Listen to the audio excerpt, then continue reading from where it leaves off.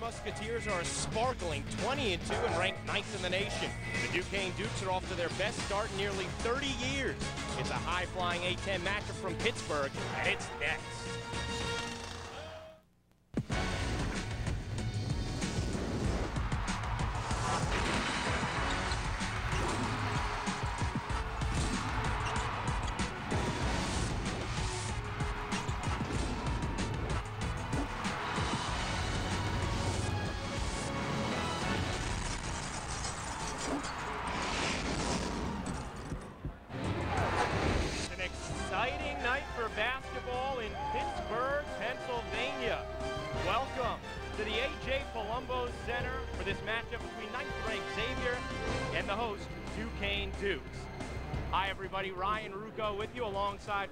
Joe's coach John Griffin. Looks like we have some friends as well here, John, for this matchup between one of the more upstart programs in the A-10, the Duquesne Dukes, and then the Goliath of the conference, the Xavier Musketeers, who are playing their best basketball right now, winners of 11 straight.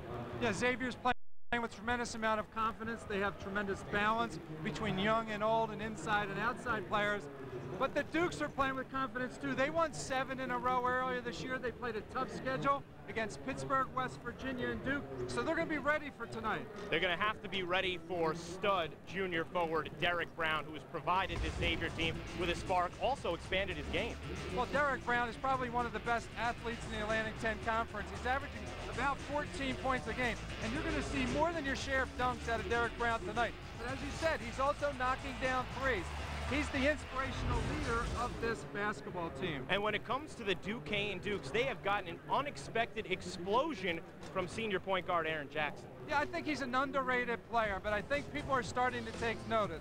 Aaron Jackson's a lone senior on this team. I love the way he passes the basketball. He reminds a lot of people of Norm Nixon, but he can get to the rack. When he beats his man in the lane, he always has his heads up, but he can also finish.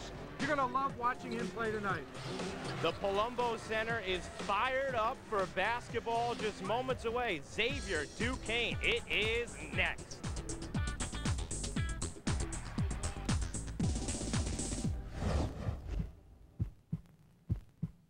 Come up and make some new family memories this winter and spend some quality time with the kids at the Mid-Atlantic's number one resort. Children under the age of 12 are free. For more information or to make your reservations, call 866-437-1300.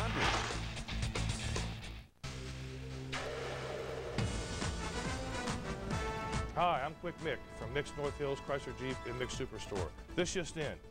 If you're looking to purchase a new or pre-owned vehicle, you'll save money at Mick's. Plus, selected vehicles have a lifetime warranty and great gas mileage. Experience the Quick Mick factor. Save time, save money when you buy at Mick's. Come see us today on McKnight Road or Robinson Township. When you buy from Mick's, you're in the driver's seat. I survived the class 4 hurricane. I survived an avalanche. There's not much that scares me. Except going to the dentist. I know I had to go because my teeth were bad. Really bad. It's not a good way to go through life. Best move I ever made was going to Aspen Dental. The dentist was so relaxed. It made me relaxed. Our exclusive Confidence dentures start at just 199. I used to be afraid to open my mouth when I talk about my bikes. Now the guys can't get me to shut up. Legacy Remodeling has the solution to all of your home improvement needs. From our Owens Corning basement finishing system and sunrooms to windows, siding, roofing, and doors, call us at 1-800-NEW-VIEW or visit us at legacyremodel.com. Legacy Remodeling, pass it on. This presentation of college basketball is brought to you by Chick-fil-A. We didn't invent the chicken, just the chicken sandwich.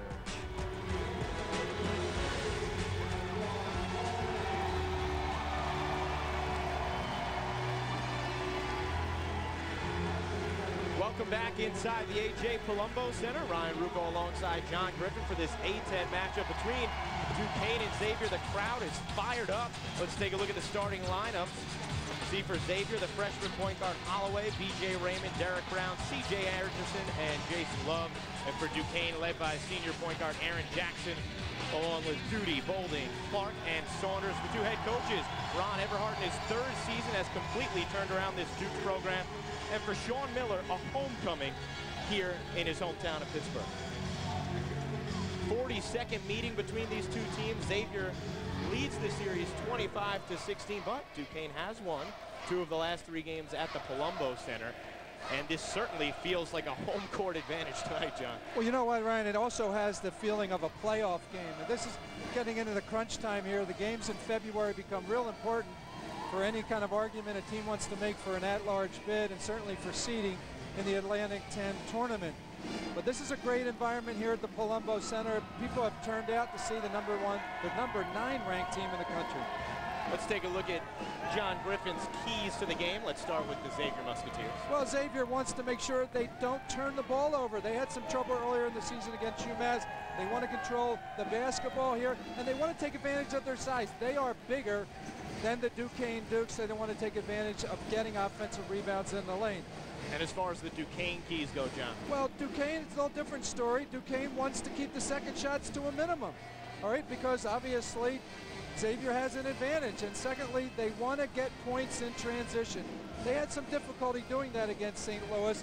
They know they want to set up and try to score before the defense is actually set. So it'll be important for Duquesne to get some quick baskets in transition. Now you see Duquesne wearing those red jerseys. Those are not their normal home jerseys. Those are an alternate jersey. The reason they're wearing them is because tonight is red out night at the Palumbo Center. All the fans, I don't know why the cheerleaders don't have those red Ultimate jerseys. They don't. Nice enough to join us in the open, though. But the, the fans all in those red T-shirts, and you've seen this place not have this kind of atmosphere. Yeah, I mean, there's a resurgence here of basketball at the Palumbo Center, Duquesne University, and Ron Everhart is very, very responsible for that.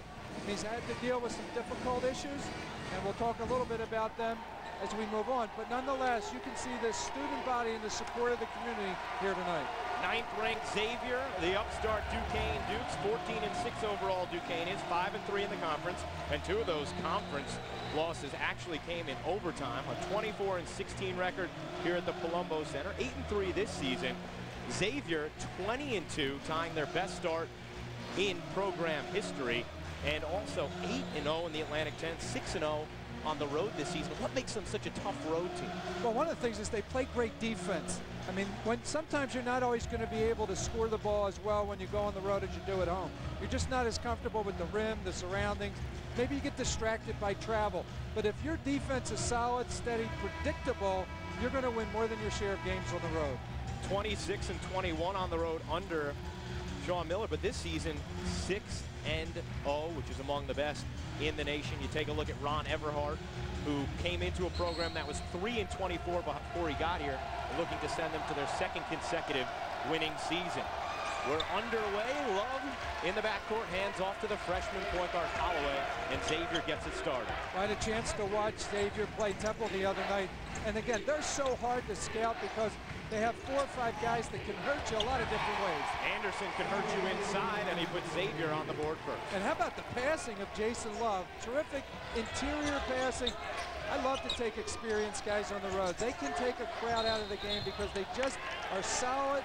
They're kind of uh, under control emotionally. They don't get hyped up by the crowd or sometimes by the officials. And I think Sean Miller really appreciates the depth that he has on this team, and you'll see some quiet confidence in the way he's coaching his team tonight. And when you play the kind of schedule that Xavier does in the non-conference, it's hard to get intimidated by any venue you go into in the Atlantic. Yeah, exactly. I, I mean, they played uh, Duke in a neutral court, but outside of that, they've played just great basketball. Some early wins in Puerto Rico against Memphis. They tested themselves on the road against Virginia. See Duquesne trying to double up around the perimeter. Holloway walks as he goes through the lane. Well, Holloway is the one inexperienced player on the court right now for Xavier, the lone freshman, and he's learning. He's certainly getting better with each game. You don't generally see those kind of mistakes with some of the upperclassmen. Holloway had a rough last game against Temple Thursday night. No points, three assists, and five turnovers point guard, the one position that's been a bit inconsistent for the Musketeers.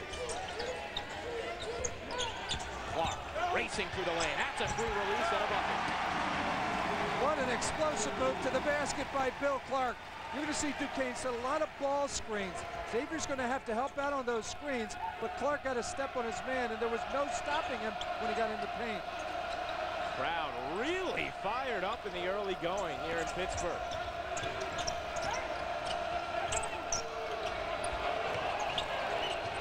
Raymond with Duty on him. A lot more size. Double team now with Jackson and Duty tied up. No jump ball is called. Holloway has to fire away. Beats the shot clock. Doesn't get it to go, though. And that's over the back of Derrick Brown. Well, I love the athleticism of Derrick Brown. I love his intensity. Ron Everhart, however, has to be happy with his defense there. What you notice, and we talked about this before we went on air, is the trapping. You're going to see Duquesne trap ball screens. They did a terrific job that time taking Xavier out of their half-court offense. In shoot-around, it was all about working on that double team, the trap from Duquesne. And for Xavier, it was about getting rid of the ball quickly when they are double teamed. Jackson feeds Clark. Saunders lost the handle, gets it back. Misfires to Jackson. Raymond dives on the floor. It's loose, though, and Saunders comes away with it. A three. Good. Duquesne loves to shoot the three. That's going to be important for Xavier to try to take that away, especially to make Duquesne put the ball on the floor before they shoot the three. Bill Clark fouled out against St. Louis on Wednesday night. His presence was certainly missed at the end of that game. Five early points, an early steal for Damian Saunders. Good feet ahead to Jackson for the flush. Great pass by Saunders and a terrific finish by Aaron Jackson. Right now, Duquesne is playing with tremendous confidence, poised at both ends of the court. The past few games, they had not gotten those easy buckets in transition. Certainly a good sign for the Dukes to get one. Yeah, and it all started with their defense. Look at how aggressively they're trapping the ball in the low post. The double team pays off as Saunders comes away with the rebound. Bolding gonna fire. Holloway pushes ahead and draws the contact. And that's one of the disadvantages of shooting the ball quickly. Duquesne wants to take an open three if they have it. However, that's going to lead to some what I'll call runouts. Xavier will get some long rebounds and have an advantage as they push the ball down the floor. Three underclassmen check in for the Musketeers. Jamel McLean, Kenny Frease, along with Dante Jackson. That's Jackson in the corner. Cross court. Raymond almost didn't see it. Holloway fires. Good. Nice stroke by Terrell Holloway. Nice passing in the half court by the Musketeers.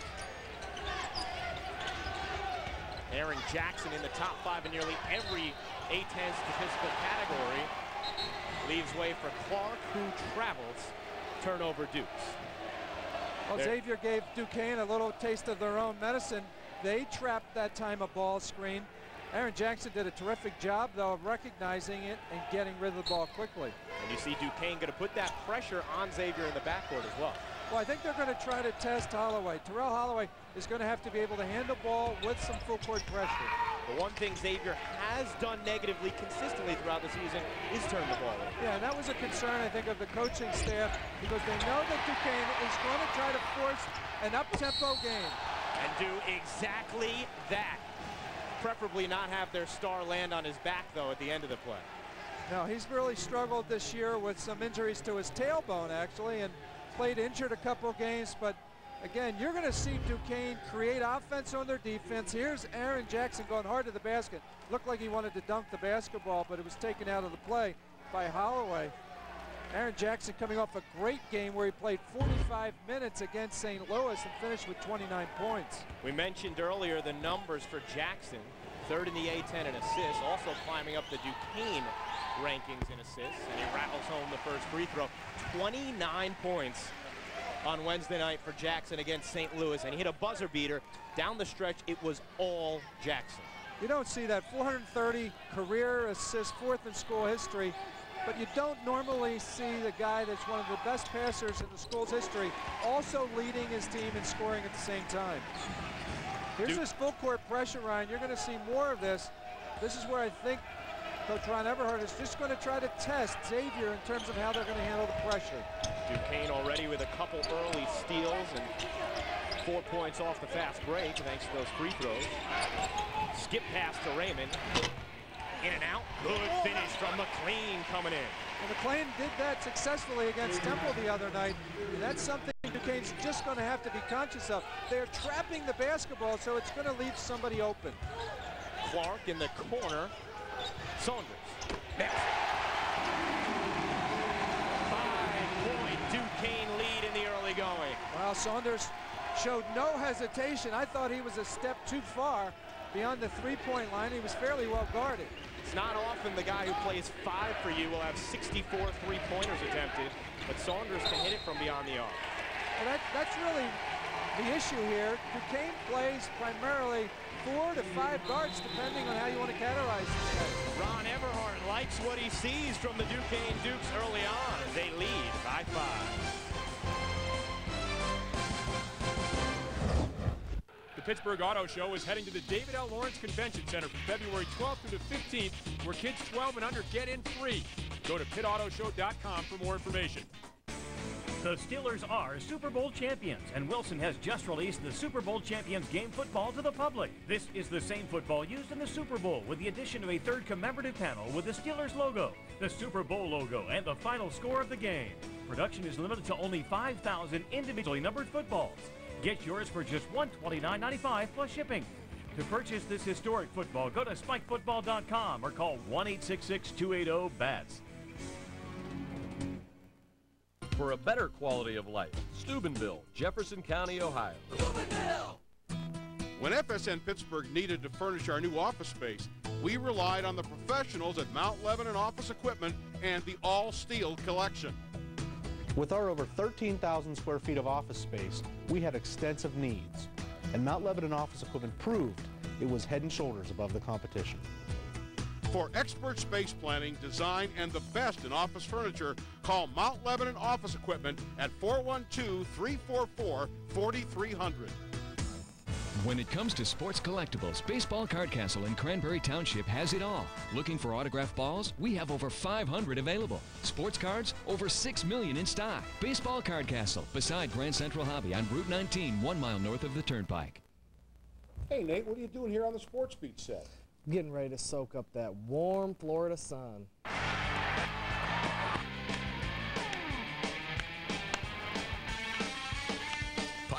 Baseball returns this spring on FSN.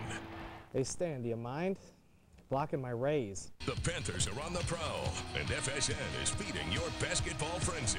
Catch Barrel.com's Panthers Weekly, Thursdays on Severin on Sports Beat. Taking a look at the A-10 standings back here at the Palumbo Center in Pittsburgh. Xavier right now on top of the conference, 8-0. But you look at those Duquesne Dukes in fifth place, 5 and 3 in the conference. We mentioned earlier, too, two of those three losses came in overtime, one on a tip-in at St. Joe's. Certainly, Duquesne has room to move up. And when you look at the preseason, this was not an expected place in the standings for the Dukes, who were picked to finish 12th. Yeah, with so many new young players, Coach Ron Everhart has to be, I, I, think, thought of as a coach of the year right now for the job that he's doing. When you, you look at this team, they were picked preseason number 12. They're right now tied really for fourth in current standings, and he's just done an impressive job. He did it last year, and the team uh, with a bunch of new guys is doing very much the same thing this season. Bolding, knifing through, forgets the basketball.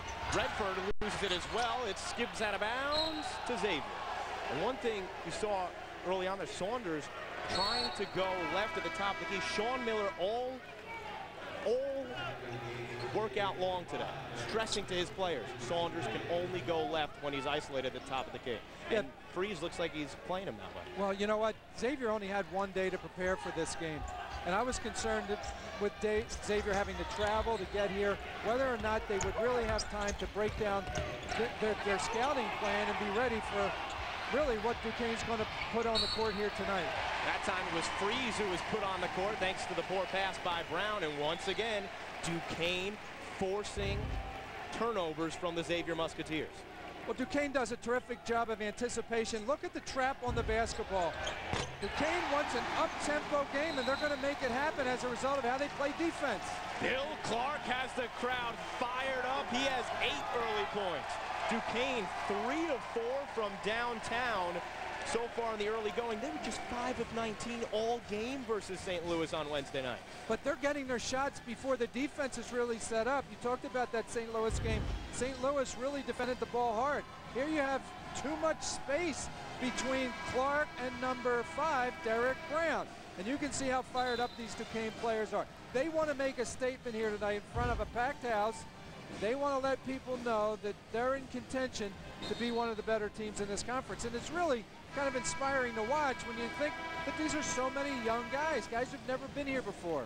Fifth youngest team in the country by average age at the start of the season. Eight scholarship freshmen for Duquesne. You took a look at those three-point numbers. This is a team that averages 24 three-point attempts a game. They weren't able to get them off against St. Louis, and they have so far tonight and made them. As a hand check's called on Duty for the foul. And for Duquesne, I would think John, to have confidence against a team like Xavier, you have to get off to this kind of a fast start, right? Yeah, I think it's really helpful to get off to a good start. I know that Coach Sean Miller was concerned about getting off to a good start, and certainly they didn't do that against Duke and fell behind very quickly. But this is an experienced team, and he has so many weapons, so many guys who can come in the game and give his team a spark. It's going to be a long game. Duke has to, Duquesne is going to have to play this well for an entire 40 minutes to come out of here with a win. Frease, working on Saunders. Seven foot on six seven, and he gets the tip in, not to go on the second try.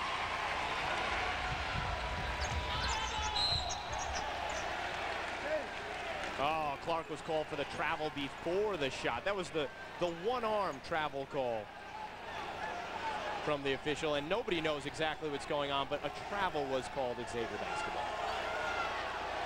Clark tried to get his man in the air, did, but shuffled the feet before he could get it off. Well, here's this full court defense here, trying to play sometimes trapping full court pressure, other times just good pressure on the ball. Anderson, usually going to play down low, try the dribble drive, pass up top. Redford, prolific three-point shooter. Now Anderson forces his way in. Loose ball to Anderson, strip, Bolding comes away with it. Kick to Jackson. Duquesne by 10. I'm just amazed at the number of transition baskets so far by Duquesne. And a charge, Bill Clark, the most intense player on this Duquesne squad, always willing to hit the floor for the Dukes. Well, Duquesne has just gotten the ball out over half court quickly. They're filling the lanes and they're making good passes and they're able to finish. They're converting on the offensive end. But again, I'm just not sure if Duquesne can keep this up, but they're playing probably as good a 10 minutes here, seven minutes, seven and a half minutes, as I've seen all season long. And an 8-0 run over the past two minutes for the Duke. Sean Miller said it very directly in shoot-around. We turn the ball over, we will not win tonight. They have six turnovers, and that's why Duquesne keeps doing that. Well, Bolding is only a freshman, but he's playing like an upperclassman right now. Coach Ron Everhart is getting really upperclassman-like play out of all these young guys. The Xavier leader, B.J. Raymond, going to check back in. Ron Everhart clearly thrilled with the performance thus far. Duquesne out to a 13-point lead, an 11-0 run, and they're 4 of 5 from downtown so far. You saw Bolding hit that three. He was 0 of 4 from beyond the arc against St. Louis. And you always have to worry about a freshman's ability to bounce back confidence-wise. Yeah, it seems like Duquesne's been able to do that, though. And Raymond's the guy who can get Xavier going, a authoritative fist bump after the bucket.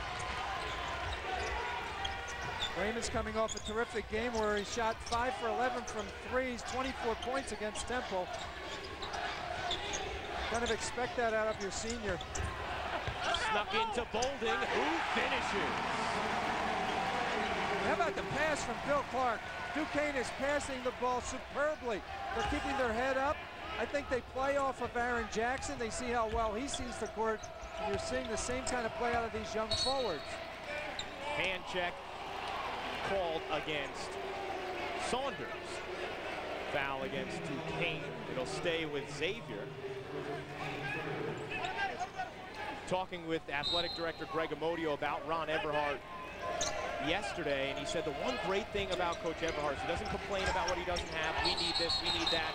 He's a blue-collar, Pittsburgh-type guy who just makes sure he's going to get the job done. His team getting the job done in the early Well, you know, I thought he said something interesting as we passed him in the hallway. He said he's a low-maintenance guy. I don't often hear that coaches are called low maintenance. you see the turnover by Xavier, seven now so far in the early going. Jackson right to the hoop. Eight of nine, nine of ten. Sean Miller's going to take a timeout. Now you got to keep in mind, Duquesne is playing fantastic basketball against one of the best defensive teams, not just in the Atlantic 10 in the country. Talk about the streaks they've been on. It's a lot having to do with their defense. Look at how number one, Aaron Jackson, turns the corner, and there's not a blue jersey in his path. He just accelerates, gets past the defender, and he's just able to finish. Now there he's mismatched clearly on Jason Love, who plays the five for Xavier when Frease isn't in the game. What is Duquesne doing right now to allow Jackson to get him this? Well, I think more importantly, what is Xavier not doing? Xavier is not defending the screen on the ball well enough, so it's allowing the guy who uses the screen to turn the corner. Actually, what should happen is either the guy defending the screener has to step out into his path and reroute the man with the basketball. So a guy like Aaron Jackson can't get to the hoop. How about this number in the early going, John? 14 points off turnovers for Duquesne. Yeah, I mean, I think the coaches at Xavier were very conscious of the fact that they have a, a disposition to turn the basketball over. And one of the keys to the game was not turn the basketball over. So it's not obviously playing out the way Xavier wants it to, and I'm sure that Coach Sean Miller is going to try to make some adjustment here in, the, in this huddle. Now, it's still very early. We know Xavier has incredible firepower. Won't take much for them to get back into this game, but I, I wanted to ask you this at some point anyway, so I'll do it now when they trail by 14 could this be a trap game of sorts? Quick turnaround from Thursday night against a tough Temple team, and then they go to Dayton for their next A-10 game on Wednesday. Dayton, a team who has not lost at home this year. Yeah, you could certainly say that, and uh, you know, I'll, I'll throw one little thing in there. It's a bit of a disadvantage of having to play a league game on the road with just one day's rest. But nonetheless, I mean, this is probably one of the most experienced teams in the conference, and Xavier is, is really a hardened team. I mean, they're you wouldn't expect them to let up in any which way. You could see the pressure frustrating the Musketeers thus far. Holloway, the freshman point guard, feeds to Raymond. Whistle away from the ball. You know, more than Xavier not playing well, and you could credit, you know, the turnovers are, are, are focused on that. I'm just going to say Duquesne has played exceptional basketball. And the scoreboard reflects as much. Duquesne up on top of Xavier, 24 to 10.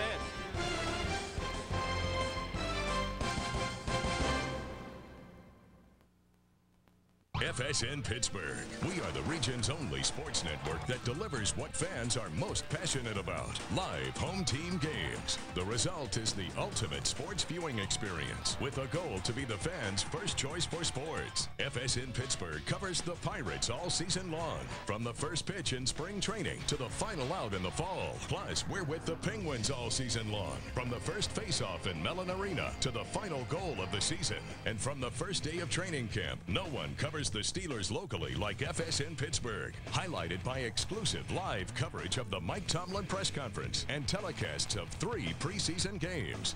If you love regional college athletics, FSN Pittsburgh brings you Pitt, Penn State, West Virginia, Duquesne, Robert Morris, Lehigh, Lafayette, and Cal U. FSN also underscores its focus on live community-based events with 15 local high school football games, including the WPIAL Championship championships. From weekly coaches' interviews to pre and post game analysis, sports fans know and trust our team of sports experts. Without a doubt, FSN Pittsburgh is the primary hub for regional sports. We reach more than 2.3 million homes across Pennsylvania, Ohio, West Virginia, and Maryland, with over 2,000 hours of live local sports programming. When it comes to regional sports coverage, viewers know where to turn. FSN Pittsburgh. John Griffin with you at the Palumbo Center in Pittsburgh, Pennsylvania. Duquesne out to a sparkling start. 24-10, they lead Xavier.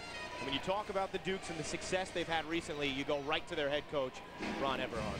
Well, look, as long as Ron Everhart has the lead, and right now it's 14 points, we're going to keep talking about him and the job that not only he's done here at Duquesne, but pretty much everywhere he's been before this. Had a lot of success at Northeastern, McNeese State. 15 years as a head coach, very good player at Virginia Tech.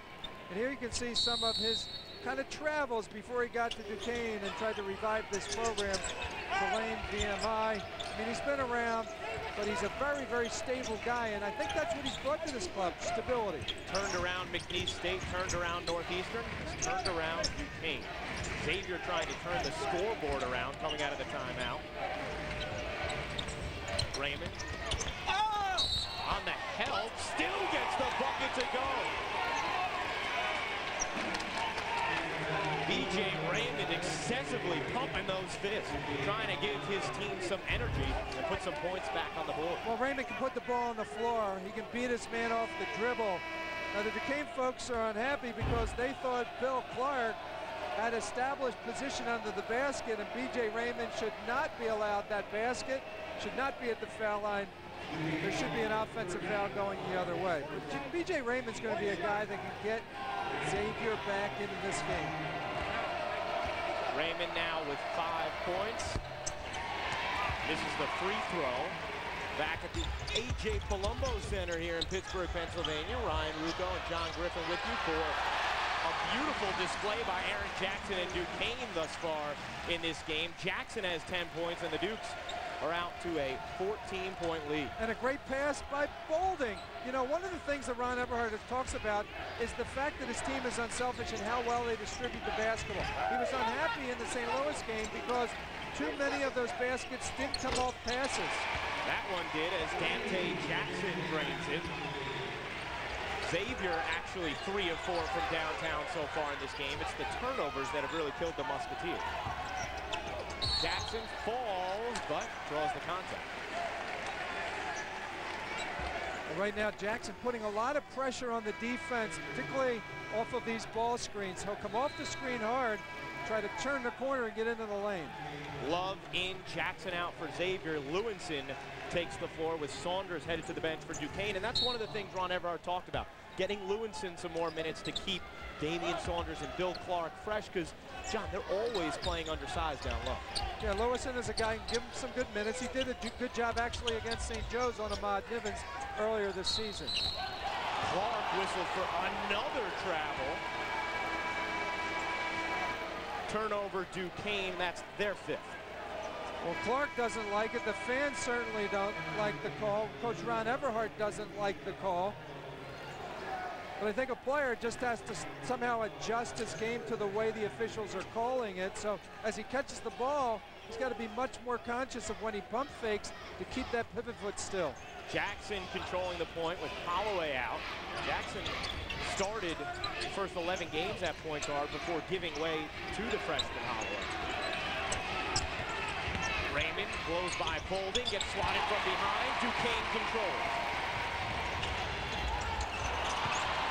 Bolding forced it that time, and then Jackson on the foul.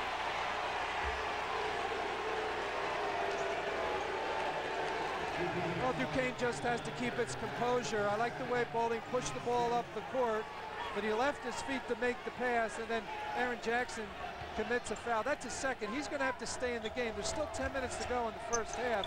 He cannot afford to get his third foul here in the first half. Well, they have to be very careful because a third foul in this first half would surely mean he'd be on the bench for the remainder of it. And I wouldn't be surprised if Coach Ron Everhart gets him out of the game.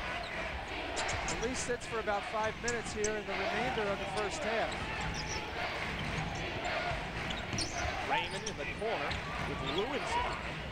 Much quicker than Lewinson. Who tries to bounce it to Love. On the block, forces it up. Good tip in from Derrick Brown. He's good for one or two of those. Yeah, terrific. And you know, you're going to see him probably slam some of those weak side offensive rebounds. He had a couple authoritative putback dunks against Temple on Thursday night. Walking high highlight, highlight reel, that's for sure. Another freshman guard, Eric Evans. A lot of young players in this game who will receive significant minutes. Evans takes Redmond right to the bucket. Evans, 5'11", but 195 pounds, a converted football player.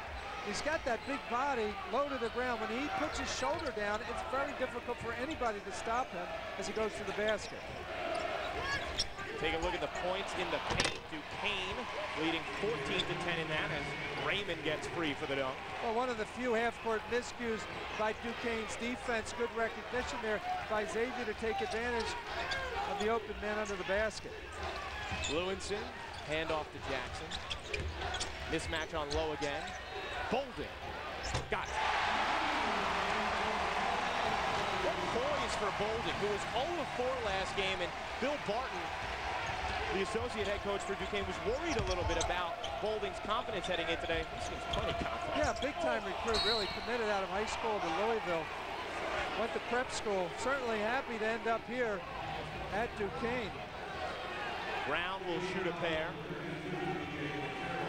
after the foul on B.J. Monteiro. There's Bolding with that beautiful stroke. Yeah, just a lot of strength in his legs to be able to rise up, and that was another two, three feet beyond the three-point line.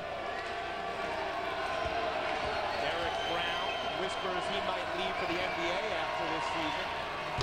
This is off front rim. Terrific data. C.J. Anderson, Kenny Frease, Terrell Holloway check back in with Xavier. Look at Jason Moody making. See how Brown has expanded his offense this season. Yeah, not just in terms of number of points scored, but his ability to score away from the basket. In fact, everybody would kind of joke about the fact that he had so many dunks and, and wouldn't in any way compare to the number of three-point field goals that he's made. He actually has just about as many three-point field goals this year as he does have dunks. Over his first two seasons, more than 50% of his field goals came via the dunk as you see how well Duquesne has been from the field so far. Today. Yeah, that's unconscious. I mean, it, it really the question is how and, and how long can Duquesne keep this up? 10 on the shot clock for Saunders. Around Frease, tried to get it to the open man down low Monteiro. Out of bounds, and it will be Duquesne basketball when we get back. They lead by 11 over ninth ranked Xavier.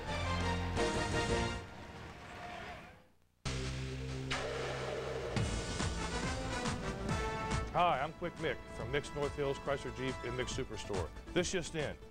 If you're looking to purchase a new or pre-owned vehicle, you'll save money at Mick's. Plus, selected vehicles have a lifetime warranty and great gas mileage. Experience the Quick Mick factor. Save time, save money when you buy at Mick's. Come see us today on McKnight Road or Robinson Township. When you buy from Mick's, you're in the driver's seat. It took more than 40 years, but Steelers founder Art Rooney finally won his first world championship. The Steelers won their first Super Bowl, Super Bowl IX, in 1975, where the Minnesota Vikings Purple People Eaters were no match for the Steel Curtain. Dwight White scored the first points of the game with a safety. Game MVP Franco Harris racked up 158 rushing yards, more than the entire Minnesota team. To learn more Steelers football history, visit the Western Pennsylvania Sports Museum at the Heinz History Center. Let's go get lunch. All I have is five bucks. That's great. We'll go to Arby's and get a full meal. A full meal for five bucks. Yeah, any Arby's toasted sub, curly fries, and a drink. Yeah, right. You get all that for five bucks. I'll marry a goat.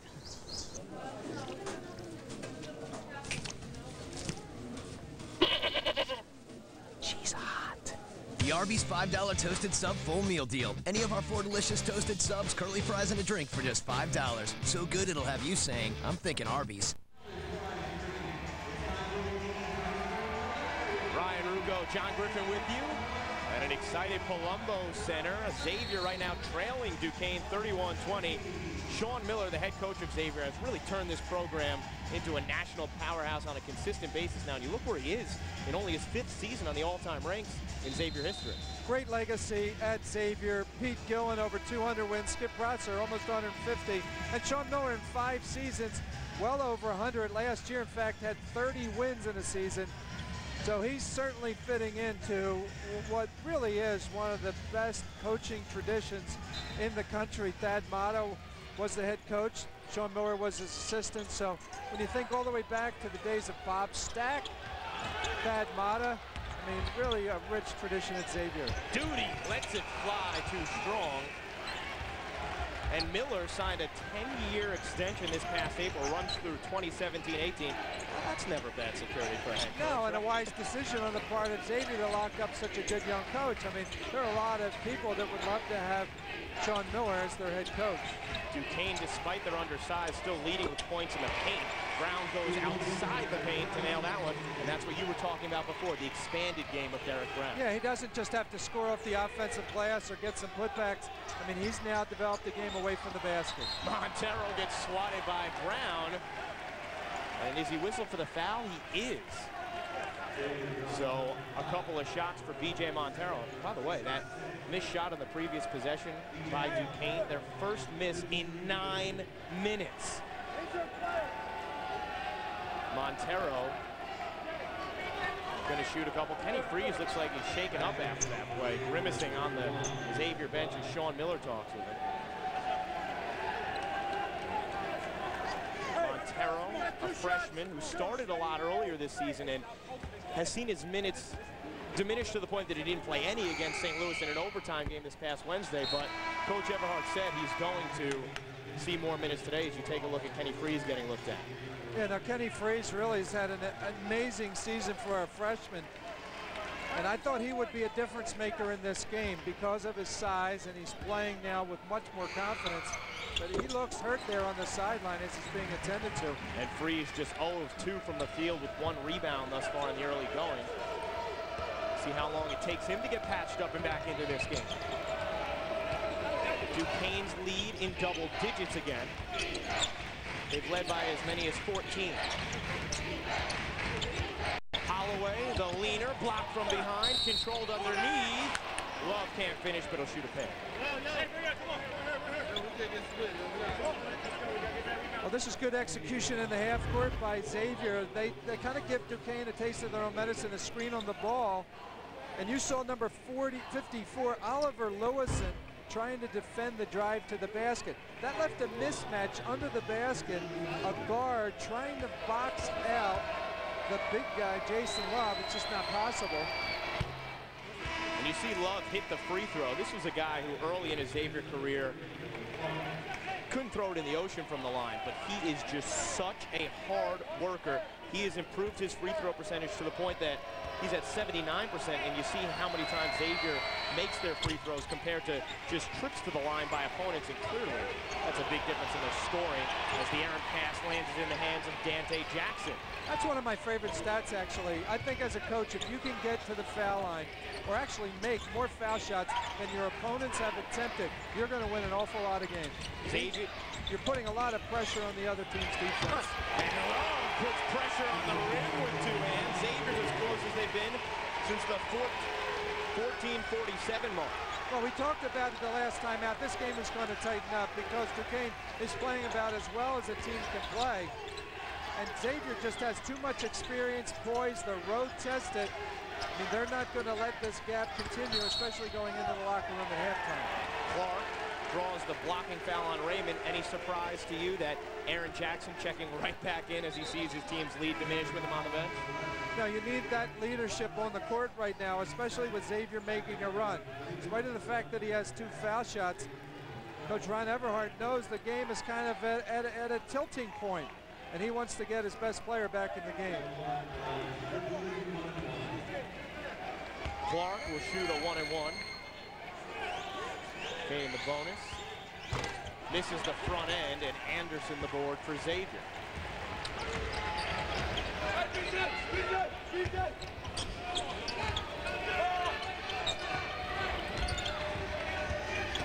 Love found space, lost the ball. Who's going to get it? Duty for Duquesne. Good hustle. Duquesne again trapped the ball, left Love wide open. Love not able to handle the basketball. I actually thought he walked a little bit, Ryan. And there, he's whistled for the block. Evans ran right into it.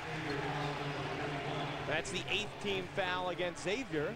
It's going to be another one and one for Evans. Taking a look at this Duquesne defense that has forced quite a few steals. Yeah, but you know what? They trap the basketball. Sometimes you need to rotate your players to the open man. That time they were a bit slow, giving Jason Love an opportunity to catch the ball on the block.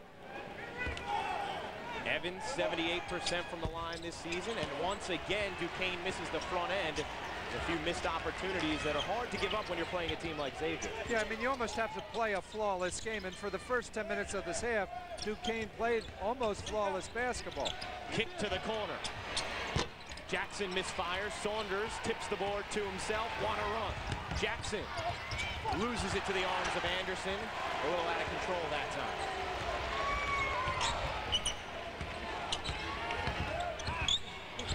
Swatted from behind, but Anderson on the second chance. And suddenly a 14-point deficit has become a four-point deficit, and the Xavier contingent behind the Musketeer bench fired up.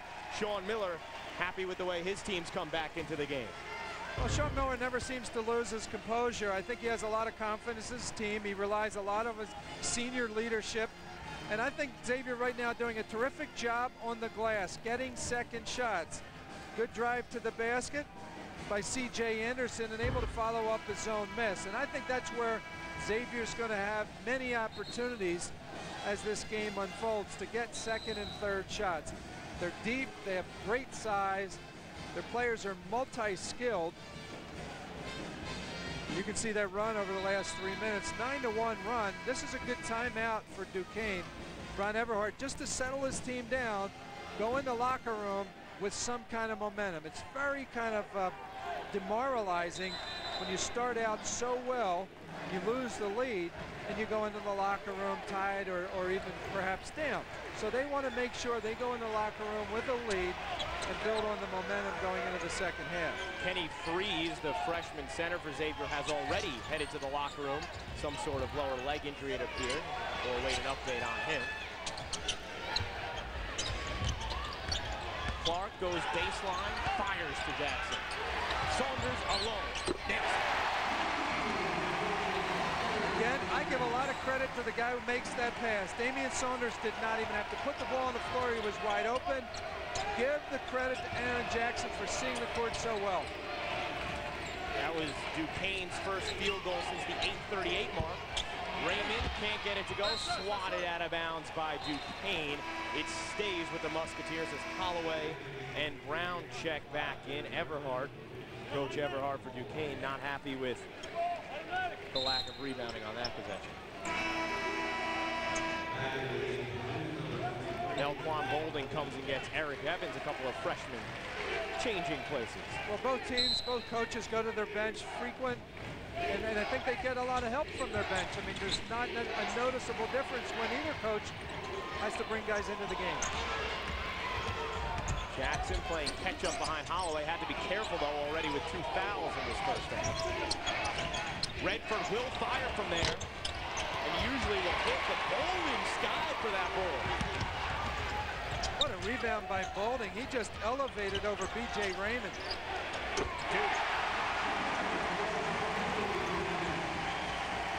And the lead quickly back up to nine. Well, there's a guy shooting with confidence. It's a self-made guy. Came into the program as a walk-on. Raymond tries to answer. Can't get it to go, and Saunders the board. Clark. Bam. Well, Duquesne wants to play at this pace. I mean, they want to make this 80, 85 point game. Even into the 90s would be to their liking.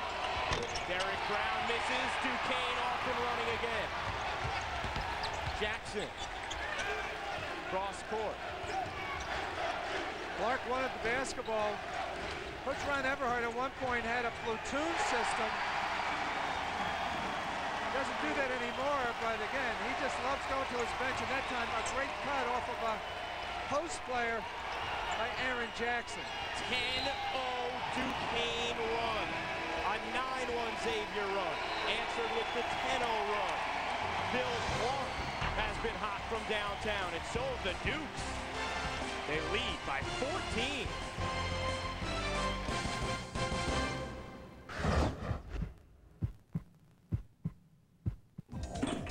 Looking for a little excitement? The Pinball Shop has just what your home needs to complete your game room. Over a hundred games fill their showroom. Jukeboxes to classic arcade video games, foosball to air hockey, slot machines, and the best selection of pinball machines that you'll find anywhere. Check out the wide variety of games at pinballshop.com or call us at 440-779-5410. When people are injured in accidents, they may be overwhelmed and confused about what to do. Here's some quick answers to questions we often hear. Do I need to call a lawyer immediately after an accident? Yes. Is it true that most cases never end up in court? Yes. Can I trust the insurance company's settlement offer? Absolutely not. How much is my injury claim worth? For that answer, you'll need to contact us for a free legal evaluation. So if you're hurt in an accident, trust Edgar Snyder and Associates to help you. For a free consultation, call 1-800-94-EDGAR.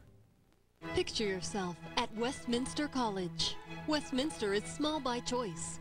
This means you will receive the personal attention you deserve. Westminster is ranked as one of the best liberal arts colleges in the country and is a national leader in graduation rate performance. Our 98% placement rate means Westminster graduates are in demand. Schedule a visit to learn more and visit us online to see if you qualify for up to $76,000 in Westminster Merit Scholarships. Succeed at Westminster College. This game will feature Xavier's B.J. Raymond, who has developed into a key contributor to the Musketeers' success this season. We'll also revisit all the first half highlights and stats and take a look at the out-of-town Atlantic 10 scores. That's coming up at the half. Right now, Duquesne leading Xavier 42 to 28. What about the contrast in styles between these two teams, John? What's interesting, Duquesne wants to win games because they outscore you. Xavier wants to win games because they hold you to a season low. And you can see that Xavier is holding their opponents to 63 points a game. But right now, the scale's tipped in favor of Duquesne. The pace of the game is to their liking. They have 42 points so far, and yet we haven't reached halftime. A lot of points before the half. Matches their biggest lead, 14 does. And Duquesne, 9 of 9 on two-pointers so far in this game. A lot of those buckets have been in transition. Yeah, and partly due to the fact there's terrific passing. Duquesne is doing a great job of spotting open players. Derrick Brown decided to do it himself that time. So athletic, able to force the foul. And Brown will shoot a pair. Damian Saunders whistled for his second personal. 19 foul against Duquesne. What does Xavier have to do to get back in this game, John? Well, I think they're going to have to grind it out possession by possession.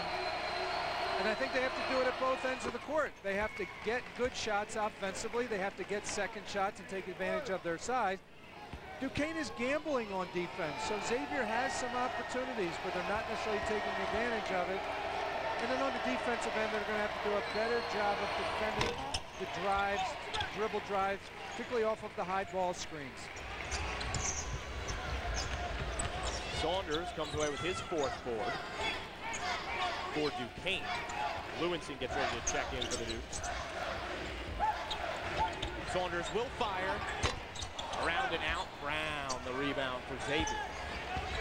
Because Duquesne does not play with a post player, it's really creating some mismatch problems for Xavier.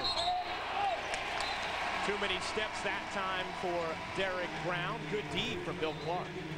Yeah, Jason Love actually has to come out of the lane and play a forward, and he's not necessarily used to doing that, so it almost neutralizes Jason Love's ability to play around the basket. And when you're down by as many as Xavier is, it, is it harder for them to slow the game down as much as well? Well, you really don't want to slow the game down, but at the same time, you don't want to play out of control. That time, Clark a little out of control, but he draws the foul. And Bill Clark having a wonderful first half. 11 points, three assists, and for a guy who fouled out and is perhaps the most intense player on this Duquesne team, he's got to be very pleased with the effort he's put forth so far in the first 18 plus. Yeah, Bill Clark really was playing beyond his years. There were points in time this year where he kind of struggled with his confidence, but but but not right now. He's a very talented swingman. Played prep basketball Worcester Academy, came from Oak Hill. But he's creating some matchup problems because Duquesne is spacing out the court. They're giving a guy like Bill Clark the ability to put the ball on the floor. And if you don't guard him close, he's going to take that three. He's taken over 100 threes so far this season. The only thing Duquesne not doing well so far this game is free throw shooting. Three of eight from the stripe thus far. And at a 13-point lead, that stat can be easily eclipsed by the positives, but against the Xavier team, you never know when that might come back to haunt you.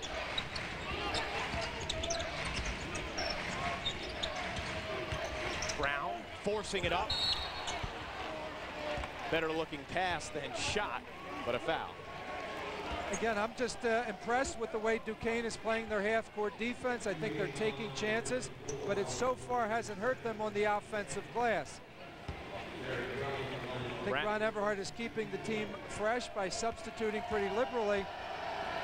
So nobody seems to be tired right now. There's an awful lot of spring in their step. Brown sinks the free throw. Now three of five from the line. Seven points for Derrick Brown as Jason Duty goes and spells Aaron Jackson, who 12 points in this first half, a couple boards, a couple assists, but a couple fouls. Yeah, but only two fouls, and he was playing with two fouls for the last 10 minutes of the half. So Ron Everhart was able to get him quality minutes in the last 10 minutes of the half without picking up his third foul. That's what Anderson does so well, crashing the offensive glass. Almost got to another one, but instead it's Lewinson for Duquesne.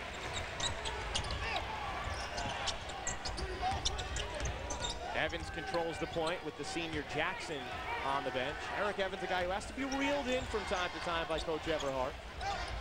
Coach Everhart gives him the green light. He knows he's going to make some mistakes, but he's giving him that space. Bill Clark is getting nothing but a green light tonight. Biggest lead of the game for Duquesne. It's 15, under a minute to go in the half. Only a sophomore. He's averaging about 13 a game, but he is playing well beyond anyone's expectations right now. 14 points for Bill Clark. Holloway all out of control. Can Raymond stem the tide? Sneaks between defenders. Galena, short. Xavier can hold for one. No Nizu. Oh, Clark's going to peel back anyway. Almost a frantic pace on the defensive end by Duquesne. It's kind of taken Xavier out of its, its rhythm in the half court because I think they've run very good half court offense. I saw them the other night against Temple, and they were very efficient. But right now, out of sil uh, out of sorts with the way Duquesne is playing them defensively. Duquesne shooting 85% in this first half. Number went down a bit, but the scoreboard will not. At the half, Duquesne on top of Xavier, 45 to 30 an offensive explosion, much to the delight of these Duke fans here on Redout Night. Can you tell? 31 and 6 the Duquesne Dukes are when leading at the half under head coach Ron Everhart. This season, they are 10 and 2. A final thought from you as we head to break here, John. Well, just an amazing first half by Duquesne. The question remains, can they keep it up with the remaining 20 minutes? But an inspiring first half I'm sure Sean Miller is going to try to get his team regrouped here at halftime. And I think you'll see a different Xavier team when they take the court after intermission. 81% from the field. That's what those Dukes fans watch in this first 20 minutes of basketball from their Duquesne squad. They lead Xavier by 15. Xavier's the ninth ranked team of the country. Got an interesting second half in store.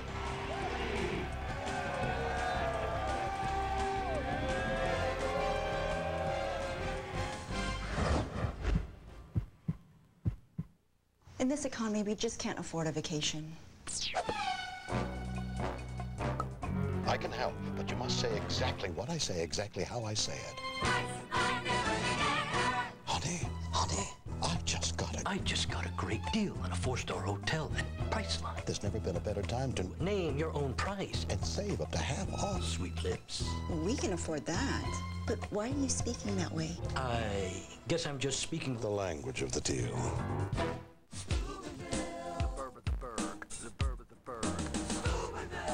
Pittsburgh's premier suburb is in Ohio. Jefferson County, Ohio is just 36 miles from downtown and less than 30 from the airport. Jefferson County is the ideal place to locate your business, a productive and affordable workforce, low operating costs, and the largest development site in eastern Ohio. Contact theburb.org. Funding provided for by the Jefferson County Department of Job and Family Services.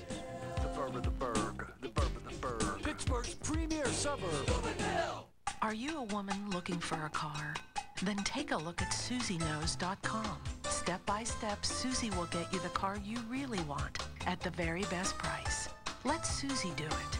SusieKnows.com. How much sugar is in these energy drinks? Let's find out. While waiting, you should know. 5-Hour Energy contains zero sugar and only 4 calories. Its blend of B vitamins and amino acids can help you feel awake, alert, and productive for hours without the crash or jitters. The answer is 12. Over 12 teaspoons of sugar and 200 calories in these energy drinks. Zero sugar and 4 calories in 5-Hour Energy. There's a reason people choose 5-Hour Energy 2.5 million times a week. 5-Hour Energy. Hours of energy now, no crash later. Introducing the big deals, the top picks of the day, the best deals on cars and trucks on the web, hot off the showroom floor and right to your computer in real time. The big deals are here, but only at Barrel.com.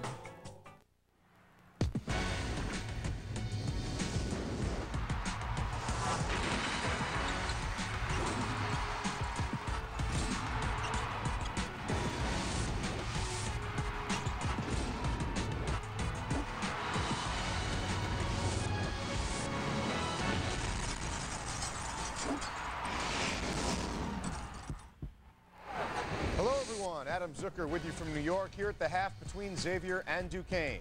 The Musketeers, led in part by Captain B.J. Raymond.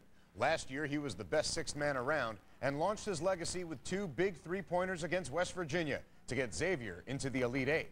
Now, Raymond is trying to make sure that he's remembered for more than just those two shots.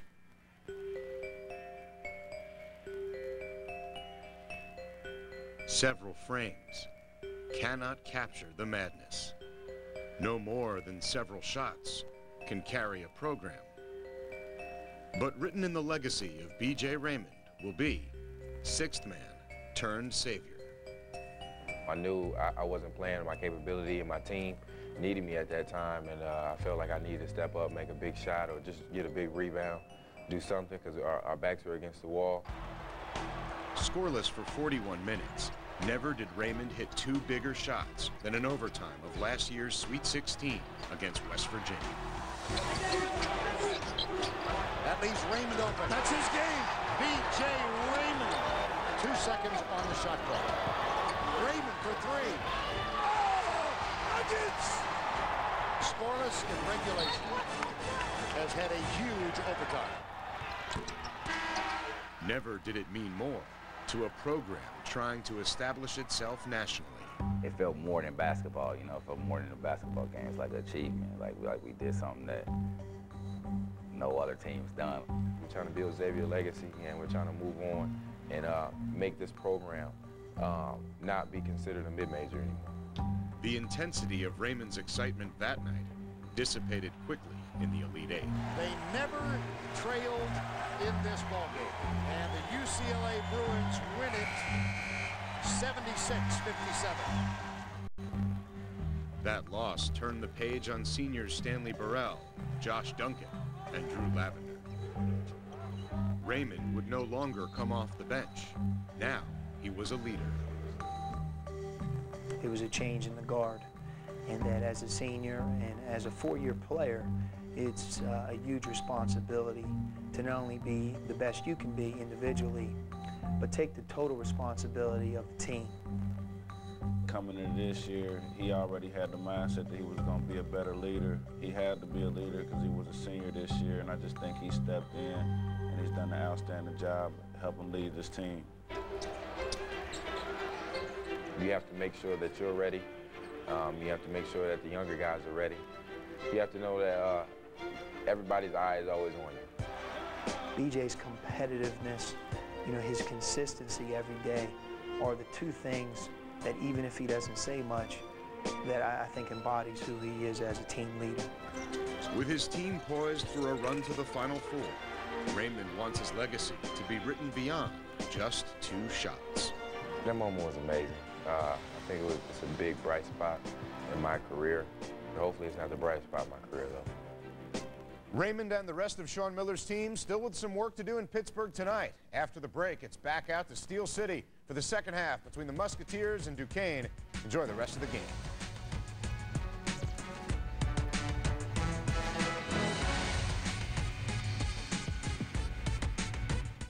Back in 1944, Equipco made history by being the first Hyster forklift dealer in the country.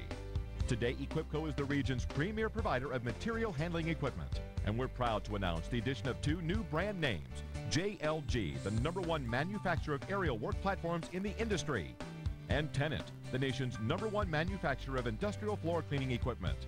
Call Equipco today at 1 800 852 2343 or visit our website at equipco.com.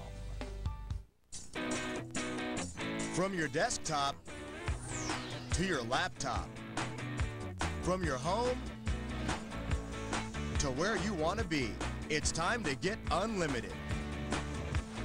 Get Cricket Broadband and get fast mobile internet access at a price that fits your budget. Call 1-800-718-8715 now or hurry into a Cricket store today to get in on this great deal. For just 40 bucks a month, you get unlimited wireless broadband 24-7. And thanks to our all-digital 3G network, it's super fast.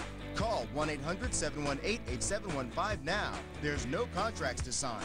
Just plug in and start surfing the net. It's that easy, it's that fast. Act now and get a USB modem for just 59 bucks. Call 1-800-718-8715.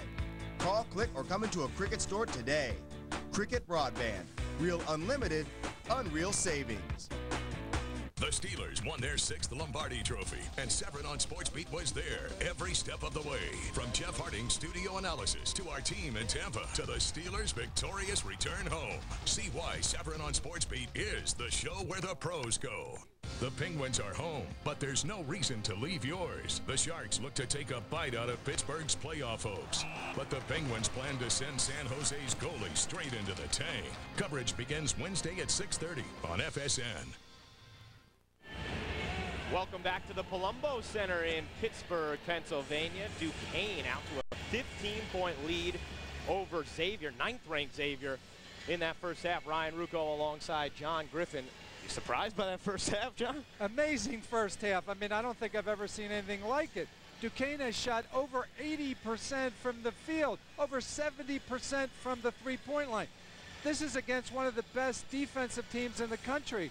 So mind you, I, have not expected this coming into the game, and I'm certainly surprised. I'll be interested to see whether Duquesne can keep this up in the second half of this game. And, and Duquesne really struggled from beyond the arc against St. Louis on Wednesday night. They certainly have had no struggles from downtown tonight. No, just amazing. They're uh, 8 for 11 from beyond the arc, and the guy that's really most responsible is Bill Clark. He's 4 for 4.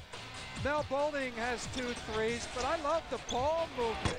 I like the way these guys are finding men open on the perimeter. Take a look at those first half stats. A few numbers jump out at you. Look at the field goals for Duquesne.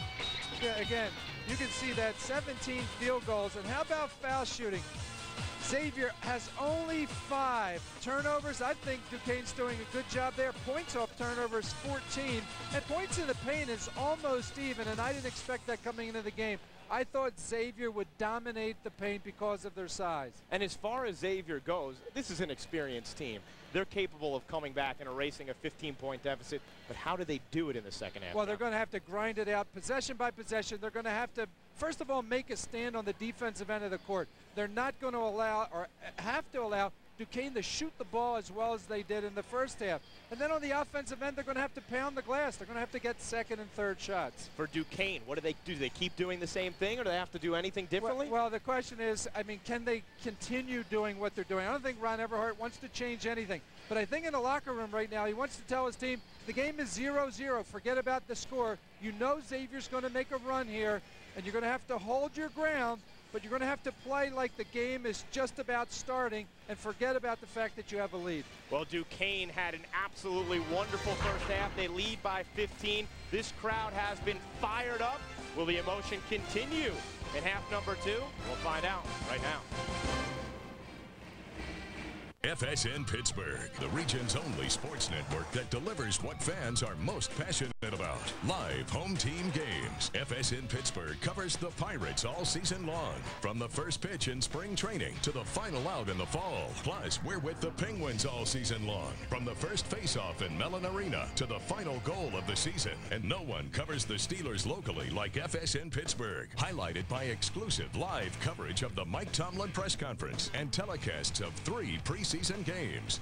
If you love regional college athletics, FSN Pittsburgh brings you Pitt, Penn State, West Virginia, Duquesne, Robert Morris, Lehigh, Lafayette, and Cal U, plus 15 local high school football games, including the WPIAL championships. From weekly coaches' interviews to pre and post game analysis, sports fans know and trust our team of sports experts. When it comes to regional sports coverage, viewers know where to turn. FSN Pittsburgh. Adam.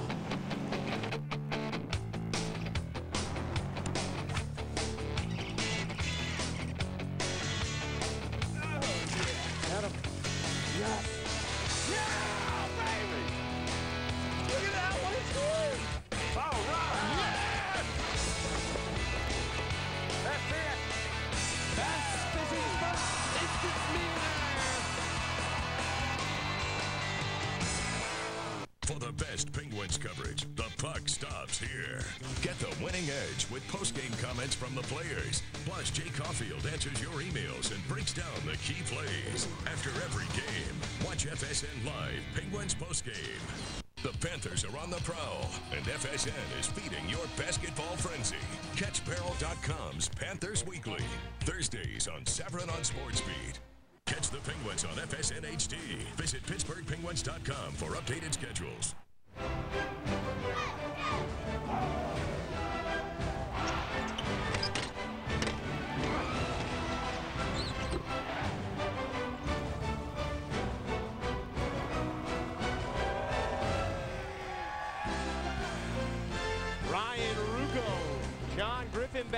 It's all Duquesne thus far at the A.J. Palumbo Center in Pittsburgh, Pennsylvania. The Dukes on top of ninth-ranked Xavier by 15 points, John, and a big reason for that was the outstanding effort by Bill Clark in the first half. Yeah, he was just superior, just shooting the ball perfectly. Five for five from the field, four of those, four for four from the three-point area. I mean, look at that penetration, an explosive move to the basket, but his jump shooting was just superb. I mean, deep shots, some very well guarded, but extremely confident. His teammates are looking for him to get the basketball, and he's playing with a lot of emotion. I think his teammates are feeding off of that confidence of Bill Clark. The highest field goal percentage that Duquesne has ever had for a single game came back in 1973. It was 74%. Who knows if they'll be able to keep this up, but right now, an absolutely incredible 81% from the field in the first half. Again, I, I, I'm you know getting tired of hearing myself say it, but it's it's against a really good defensive team, and uh, this is a team Xavier that prides itself on its defense. So I'll be really curious to see what happens here in the second half, and I'm sure Sean Miller is as intense a guy as you're going to find. An overachiever when he was a basketball player here in high school and college. And you can see trailing in the first half here hasn't happened in a long time. Certainly hasn't. What does a guy like Sean Miller say to his team after a half like that? Well, it's interesting. Sometimes as a coach, you kind of get into your team real hard. Other times you might tell them, just calm down, relax. You're taken their best shot. We'll, we'll, we're good enough to kind of grind this out and come away with a win. So you can go either way as a coach. You can lose it in the locker room, or you can go in very kind of uh, calmly and be professorial-like. Original starting fives for both teams start on the floor. Saunders. Poor pass. Holloway with Brown. Takes it himself instead, and he'll shoot a pair. Well, Xavier loves that defense leads to offense mantra as well. We saw Duquesne do it in the first half, but here Holloway gets a, a, foul in transition as a result of good half-court defense by the Musketeers. Third foul against Jason Duty. The freshman Holloway puts home the first free throw. Holloway this season from the line. 81%. He is terrific this year. He had a streak of 27 straight. A 10 of 10 against Memphis. The best foul shooter on the team. One of the best in the in the Atlantic 10 at over 80%. So, of course, as we praise his foul shooting, he misses. That's just the way it goes, right, John? Yeah, unfortunately, I should keep my mouth shut. You know, all the Xavier people will be, uh, you know, sending emails to the station now because of us. Raymond. Can't get it to go. Love inside. Whistled for the foul, and B.J. Raymond, who has been unconscious of late from downtown, now is one of five for the game, and Raymond headed into today 17 of 26 over his last four games. Yeah, and you know what? He's had four straight 20, uh, 20 point games coming into this game, but I like the effort of the Musketeers on the offensive glass that time. Clark stepped out, Xavier basketball. All right, so that's two turnovers now and two possessions by Duquesne. That's not the way they started this game. Coach Ron Everhart wants his team to show some composure in the early minutes of the second half. And Duquesne actually has one more turnover than Xavier. Xavier with nine, Duquesne with 10. You wouldn't have thought that after watching the first half. This time, Raymond hits. Duquesne is doing such a good job of trapping the ball in the low post that the Musketeers recognized that, got the ball out quickly, and found Raymond on the perimeter. Lead for Duquesne down to 11. Bolding. Short. Brown the rebound in the corner. That was a long attempt from Melquan Bolding. Derrick Brown thought about it. Love will do it. Lefty hook. And Xavier has come out hot in the second half. Well, Jason Love has gotten so much better with that jump hook. When he catches the ball and he realizes he has an opportunity, he's looking for a shot now on a much more regular basis. And the other thing right now, Ryan, is Duquesne plays at such a fast pace that you're going to have enough possessions to get back into this game. They will take quick shots. Bolding passed up a quick look there. Jackson with eight on the shot clock. Down to five. Duty, catch, shoot, short. Love the rebound. And Xavier looking to build on this run. Well, interestingly, Duquesne did not have an offensive rebound in the first half. Now, they didn't need it because they hardly missed a shot. But they're not getting second shots now, and they're missing some of these jump shots from the perimeter. Jackson finds Duty. He'll try again. This time it's good. A lot of confidence in that stroke. Jason Duty just missed a shot from the same spot. But again, like a true shooter, like a guy who believes in himself, he took it again when he had the opportunity. Anderson with a pretty post move. He worked so well inside. Yeah, that was a good, strong move in the lane. Kind of an undersized forward, if you will, you know, but he has a knack for scoring, especially going to the basket. Saunders facing up, swoops in, and travels. Another turnover for Duquesne. They have 11 on the game and three already in the second half. Still with a 10-point lead, though, Ron Everhart has. Aaron Jackson with 12 points so far in this game. Bill Clark leads all scores with 14 for Duquesne. B.J. Raymond heading up the scoreboard for Xavier with 10. Well, you know Xavier's going to make a run. Everybody in this building knows that Xavier's going to make a run. And the question is, can Duquesne hold them off, can fight through it, play through it, and then establish the run of their own to win this game? Xavier out to an 8-3 run, if you want to call it that. More of a, a steady job so far in the second half. McLean didn't do much in the first half. Draws the foul there. A couple free throws for Jamel McLean. Xavier will be happy to get some points on the foul line. They're a good foul shooting team. You can see the number of red jerseys around McLean when he catches the ball. One, two, three, four red jerseys in your screen. McLean makes a good, strong pivot to the basket. Is able to get to the foul line. McLean just a 43% foul shooter, though, so far this season. See what we're talking about?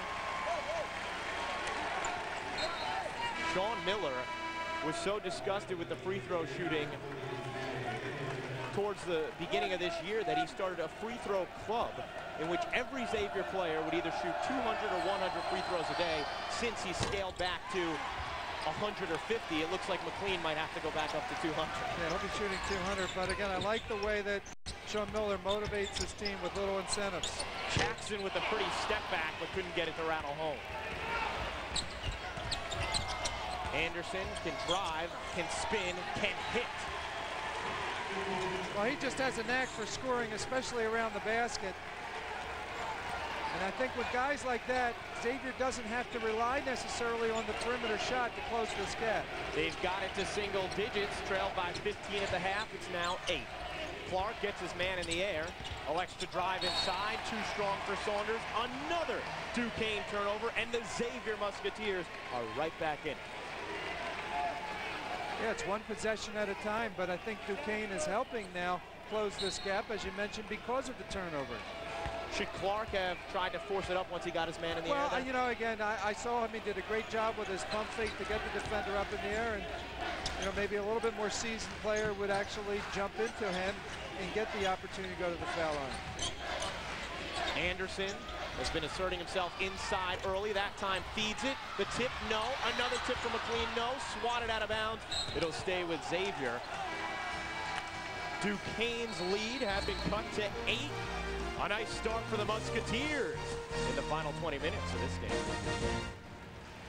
Don't miss the gigantic Circuit City going out of business sale. Save an incredible 30% off Canon, Sony, Nikon, and other top brands of camcorders, digital SLR, and point and shoot cameras. Get total liquidation prices on everything, like 40% off all furniture and 30% off GPS units. Take 25% off all plasma TVs, all home audio, including Onkyo and Denon, and many office essentials, including printers, scanners, faxes, shredders, and more. Only while quantities last during the Circuit City going out of business sale. I was limited. Keeping track of everything was driving me crazy. With my old cell plan, I had to talk on their time, not mine. That's why I switched to Cricket. Now I'm unlimited for real. I stay connected with everyone, whenever, without worrying about how much it's going to cost me. Call 1-800-853-7415 now and for 35 bucks a month get unlimited talk, text, and US long distance. That's to anyone on any network 24-7 on our all-digital 3G network with no signed contracts and no overages. And right now, save $50 on these cool Samsung phones or get the full-featured Samsung specs for only $49.99. So why wait? Call 1-800-853-7415, go to mycricket.com, or visit a Cricket store today and get unlimited talk, text, and U.S. long distance for just 35 bucks a month. Getting it together is a whole lot easier when you're unlimited. Call, click, or come into a Cricket store today. Cricket Wireless. Real unlimited, unreal savings. The Steelers won their sixth Lombardi Trophy, and Savran on Sports Beat was there every step of the way. Champs. See why Savran on Sports Beat is the show where the pros go.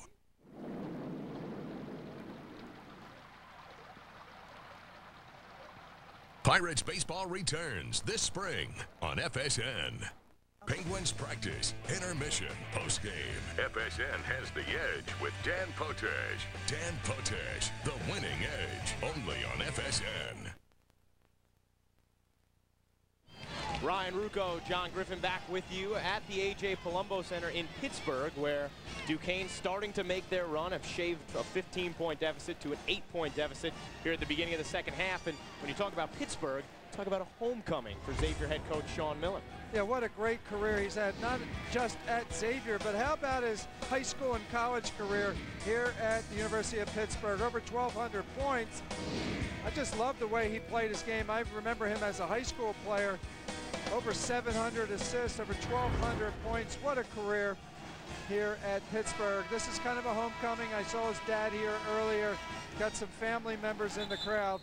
But he won't be here that long. They'll be on a flight right after this game headed back to Cincinnati. Let's take a look at Sean at Pitt. You know, the shorts were hiked up a little higher then. Yeah, I, I love his game. I don't particularly like the shorts, but I don't like anybody's shorts as we look back at this footage.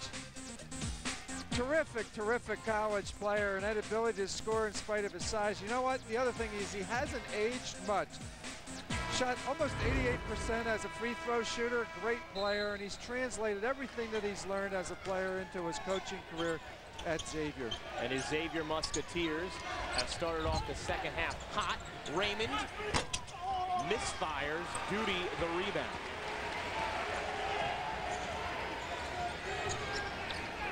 Ball take from Duty.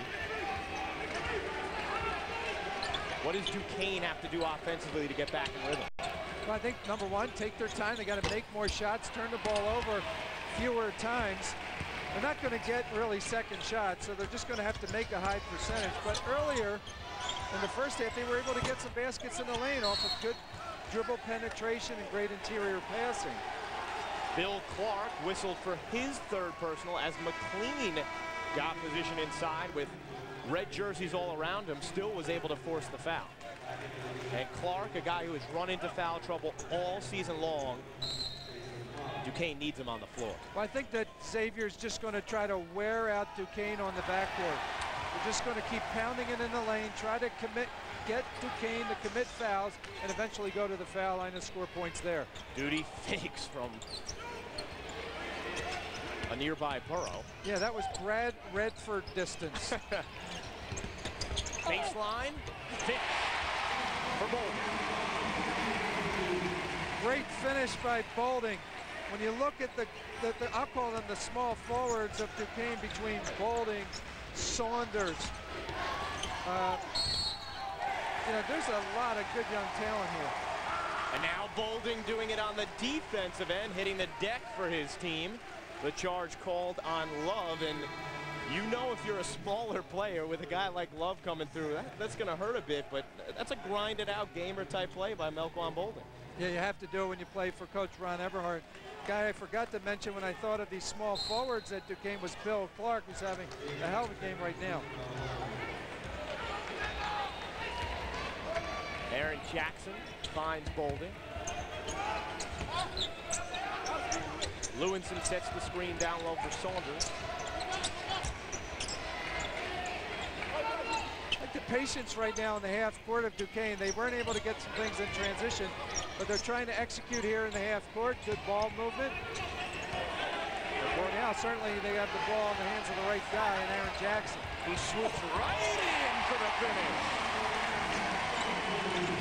Well, I think part of the game plan for Xavier was not necessarily to help out because Duquesne is such a good three-point shooting team. So that means that everybody defensively has to keep their man in front of them.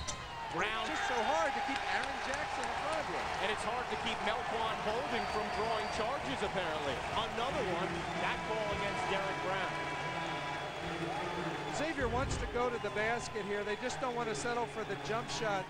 You can see the strong move by Derrick Brown, but Duquesne does a terrific job of stepping in front. And how about the acceleration of Aaron Jackson? He just leaves the defender behind him. I think that Xavier's going to have to make a defensive adjustment and find somebody to help out. Three personal fouls now on Derrick Brown as Bolding had it knocked out of bounds. It'll stay with Duquesne. You know, Aaron Jackson said something interesting yesterday. He thought on the road this young team against St. Louis Wednesday night was a bit exposed and the road element kind of took away from their focus that the home crowd would help tonight. He was right so Yeah, far. I think they're very, very prepared. Not just technically, but emotionally prepared. They're playing with a lot of confidence and right now with some poise. Bolding. Holloway got up high to that rebound. Dribbled it away off the foot of Saunders. And Terrell Holloway has been a bit out of control in this game. So I just lost the handle there a little bit, but again, he's the youngest player on the court right now for Xavier. And he's learning on the job. I mean, it's a tough challenge, and again, he's being play, playing with some very experienced guys that are going to help him along. And that's what happens when you're a freshman point guard. That's a tough position to come into as a freshman. Anderson gets swatted by Saunders. He had six blocks against St. Louis, records another one there.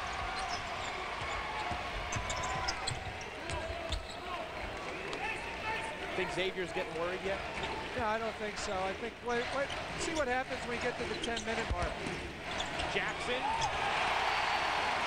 Very, very efficient half-court offense by Duquesne. They don't get the basket in transition or an opportunity to get a shot. Sean Miller's going to take a timeout. Cannot be happy right now with the way Xavier is playing half-court defense. A 6-0 run for Duquesne. They have been able to do it in large part thanks to Aaron Jackson. And every time Xavier has come back into this game, Duquesne has done a little something like this.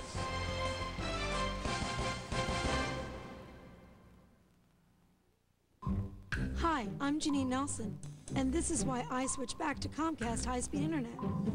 We were a happy, internet-obsessed family until our phone company lured us into giving their DSL a try. What happened after that was a total nightmare. Suddenly our connection was really sluggish, which meant less internet, and less internet meant less happy. A lot less. I knew a quick call to Comcast would bring back the internet and the happy. I never realized how much my smile was affecting my income. I'm a waitress, and my teeth were so bad. I used to cover my mouth. I would never smile. But you can't get good tips that way. Aspen Dental showed me a payment plan that even I could afford. Now make no payments and pay no interest for 12 months on any dental or denture service. I smile, I flirt, and the single guys are paying a lot more attention to me. When I see you smile.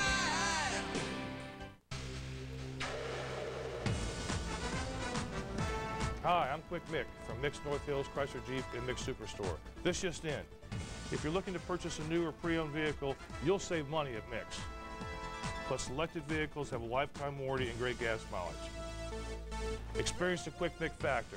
Save time, save money when you buy at Mick's. Come see us today on McKnight Road or Robinson Township. When you buy from Mick's, you're in the driver's seat. In Pittsburgh, Duquesne leads ninth-ranked Xavier by 14 in this second half. Xavier has a problem right now because the explosiveness of Derrick Brown is on the bench currently with three fouls. Well, this is what you love to have in the game right now because sometimes I think Derrick Brown's dunks are worth more than two points. I mean, this is a slam dunk highlight film. He's just a very powerful player going to the basket. No surprise that he's the slam dunk champion of the Xavier Musketeers. But he has to stay in the basketball game with three fouls. Coach Sean Miller is going to need him for the remaining 12 and a half minutes of this game. So he is back on the floor with Redford, Anderson, Holloway, and Raymond. Redford is a guy who could get Xavier back in a hurry as well. He can fill it up from downtown. Yeah, he's playing with a tremendous amount of confidence coming off a game where he had four threes. But interestingly, Derrick Brown is the center on the court right now. He's the tallest player on the court for the Musketeers. Xavier deciding to go small to match up with Duquesne's quick. Yeah, a little, a little smaller, a little quicker. Brown almost had a replay-worthy dunk there, but was fouled from behind at the Palumbo Center here in Pittsburgh, Pennsylvania. Ryan Ruocco, John Griffin with you for this A-10 matchup between the ninth-ranked team in the nation, the Xavier Musketeers, and a Duquesne Dukes team that is out to a surprising 14-point lead. Well, I'd really like the change that Coach Sean Miller made with going with the smaller lineup. Brown misses the free throw, and how about Xavier today? 6 of 14 from the line. Coach Miller, at the moment, doesn't look concerned, but what ended up happening with the smaller lineup is Oliver Lewison was trying to play Derrick Brown away from the basket. Just not possible. Derrick Brown just too quick with his first step, able to penetrate, get to the basket, draw a foul. Brown sinks the free throw. Xavier, by the way, who came out shooting hot in the beginning of the second half, doesn't have a field goal in over four minutes. Well, they went through that stretch in the first half as well for about five minutes. Can't afford that if they're going to make up this ground. Down 13 with 12 minutes to go. In the corner, Saunders lets it fly. Long, Bolding on the putback. Good hustle by Bolding from the weak side. That's something, again, you don't see Xavier typically do. Give up a second shot. Holloway pulls up from 15 and knocks it down. Good poise there by Terrell Holloway to use that ball screen. He got to about 12 feet, very comfortably knocked down the shot. Duquesne slowed it down a bit in this second half, in the half court. I think it's a wise move, Ryan. Good anticipation by B.J. Raymond, and again, that gives Xavier an opportunity to score as a result of good half-court defense. Raymond has improved so much as a defender over his time at Xavier. And that time, a pretty finish by the freshman Holloway as well, who's showing some poise the past couple possessions. It'll be interesting to see the way Duquesne handles this because really they are more of a full court, fast-paced team. They're kind of getting into the uh, the tempo here, more of the Musketeers in the way they really like to play. What an effort by Saunders. He allows that miss. Look at Bolding's guy in. And all of a sudden, Duquesne crashing the offensive glass.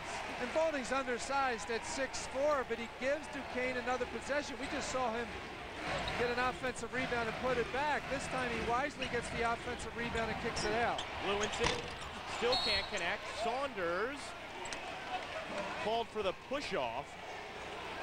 Ron Everhart can't believe it. Most people can't believe Duquesne's still up by double digits.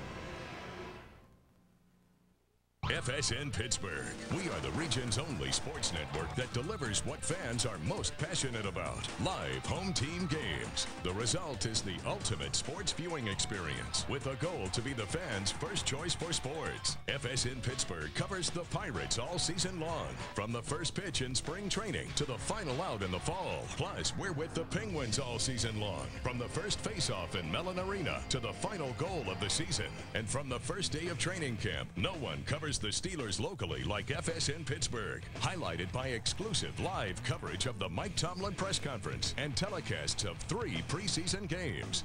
If you love regional college athletics, FSN Pittsburgh brings you Pitt, Penn State, West Virginia, Duquesne, Robert Morris, Lehigh, Lafayette, and Cal U. FSN also underscores its focus on live community-based events with 15 local high school football games, including the WPIAL Championships. From weekly coaches interviews to pre and post game analysis, sports fans know and trust our team of sports experts. Without a doubt, FSN Pittsburgh is the primary hub for regional sports. We reach more than 2.3 million homes across Pennsylvania, Ohio, West Virginia, and Maryland, with over 2,000 hours of live local sports programming. When it comes to regional sports coverage, viewers know where to turn.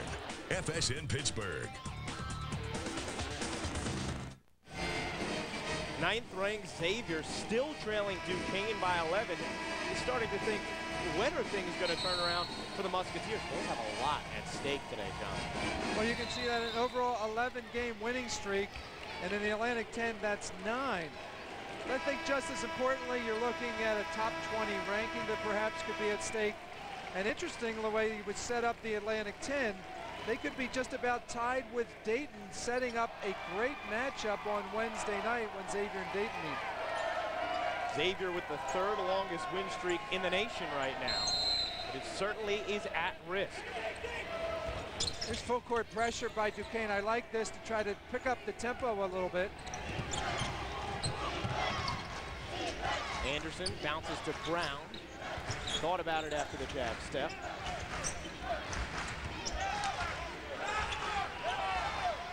Holloway working on the freshman Bolding. And a five-second violation. Sean Miller is irate. And I don't think he's irate with the officials. I think no, he's irate no, with he, Holloway. He is, he is. Uh, certainly the freshman now is going to come out of the game. But Bolding does a terrific job of staying in front of Holloway.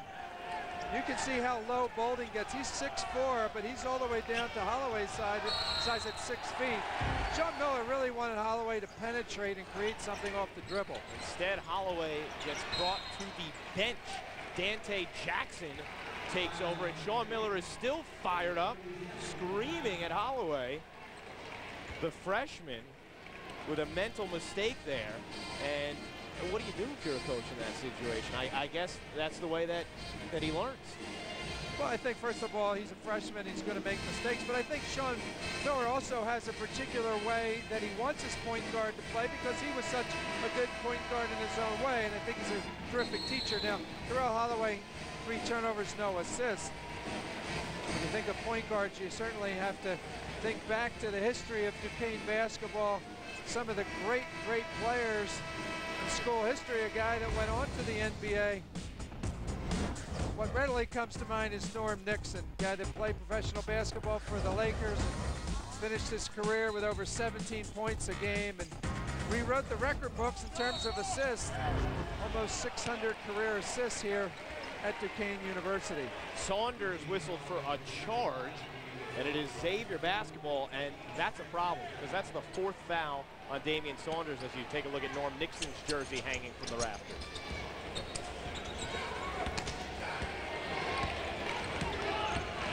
Lewinson getting ready to check in for Saunders. He's in a dangerous position right now on the floor with four. Raymond's always dangerous from there. Kane is collapsing on drives and every pass to the post, so they're really just challenging Xavier to make enough perimeter shots. That time, B.J. Raymond wide open, nobody within an arm's length. Entry pass to Saunders into the corner. Good movement. Clark didn't take it. This time, Duty will. And hit. Kane very willing to make the extra pass. You said Clark not taking it. In the first half, he would have taken that shot. Duquesne in the second half now is moving the ball from one side of the court to the other. Found Duty open in the left-hand corner. C.J. Anderson directing traffic with urgency. Gets the ball in the low post. Has it kicked away. Saunders dives to the floor. Who's going to get it? Looks like Saunders and Raymond tied up. Jump ball, possession arrow belongs to Xavier, and it's funny.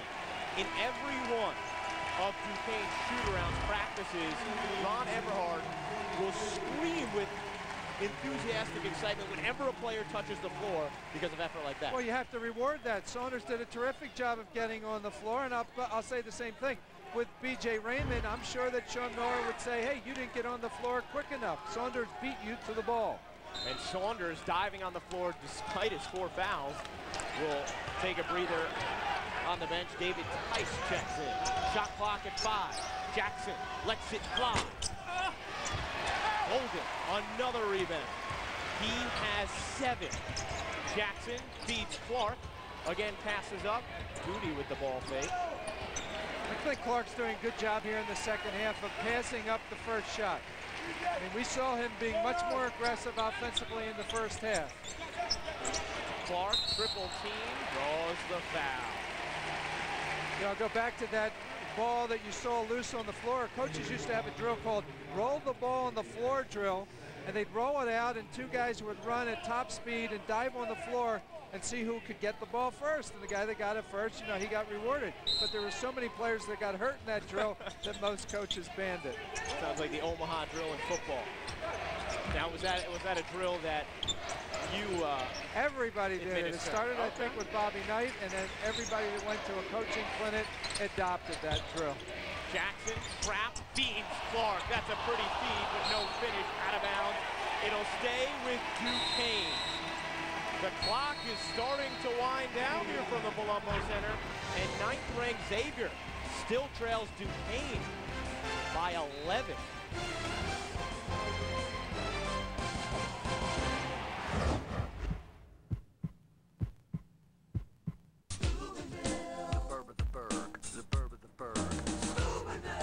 Pittsburgh's premier suburb is in Ohio. Jefferson County, Ohio is just 36 miles from downtown and less than 30 from the airport. Jefferson County is the ideal place to locate your business, a productive and affordable workforce, low operating costs, and the largest development site in eastern Ohio. Contact theburb.org. Funding provided for by the Jefferson County Department of Job and Family Services. The Burb of the Berg. The Burb of the Berg. Pittsburgh's premier suburb. Had a girlfriend who had been on eHarmony and was telling me about the caliber of person that she was meeting on the side. And at first I was just curious, like, let me see, if I do this test, you know, is it really going to peg my personality? And it was dead on. So I thought, well, you know, if they could read me this well with this test, let me see who they match me up with. So we met Josh and rest is history. Log on for your free personality profile. See how eHarmony works. eHarmony.com. You see the players on the ice. Now get to know them often. Get exclusive inside access for a behind the scenes look at the game's biggest stars. And the only place to get this close to the team is Inside Penguins Hockey. Tonight at 10 on FSN. College basketball is on FSN. The Robert Morris Colonials hit the hardwood for a doubleheader. Both the men's and women's teams look to knock off conference foe Sacred Heart. The Robert Morris doubleheader begins Thursday at 6 on FSN. Duquesne leads ninth-ranked Xavier by 11 under eight minutes to go before the game. The two players we keyed on were Derrick Brown of Xavier and Aaron Jackson of Duquesne. We take a look at this in the spotlight. What's the number that jumps out to you, John? Well, first of all, Aaron Jackson's doing what we expected him to do. He's averaging 17 a game. He has 16, playing a good, solid all-around game. The question mark right now, and a bit of a surprise, is Derrick Brown with eight points and five turnovers. That's a bit of a surprise. He's a very steady player. You wouldn't necessarily expect that of him. He's going to have to pick it up here in the latter stages of the game. A little less than eight minutes to play. He picked it up with a block, but then Clark picked up the ball and put it in for two more. And right now, Duquesne just a little bit quicker to the ball than the Musketeers. I'm not going to make any excuses for Xavier having played just two days ago and having to travel here because Duquesne is just playing a terrific basketball game. Foul on the floor.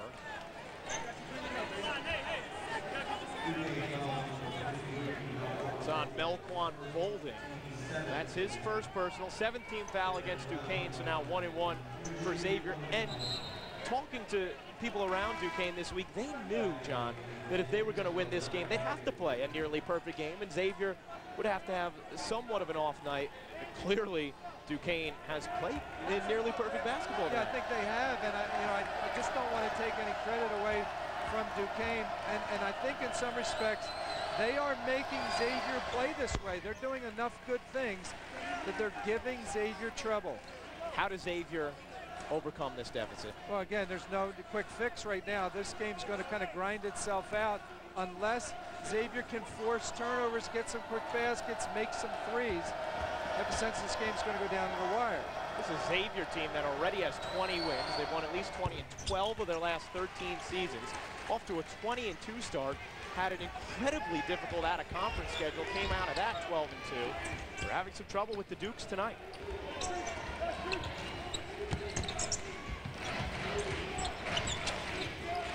Jackson in front of the Duquesne bench.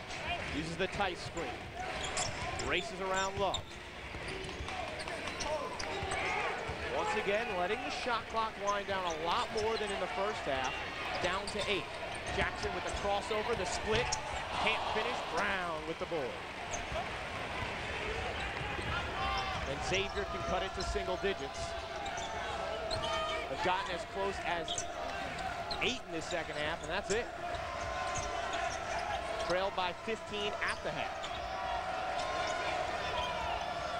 Morakinyo.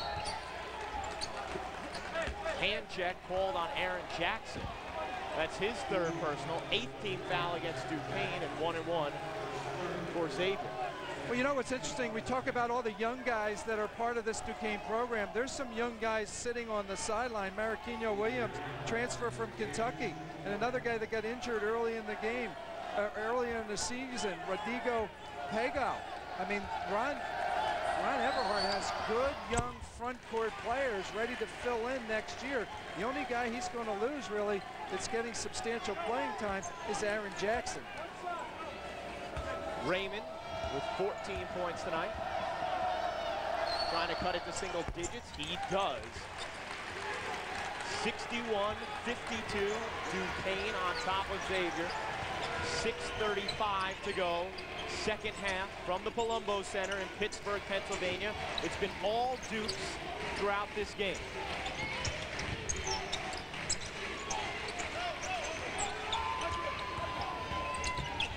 Duty fakes it, tights, takes it. Not a pretty looking shot, but a good offensive board by Jackson. And a smart play. Duquesne doing a good job of getting these offensive rebounds and resetting their half-court offense. Tice, one bounce to Clark. Takes it. Letting the shot clock wind down some more. And of course, with the shot clock winding down, so too does the game clock.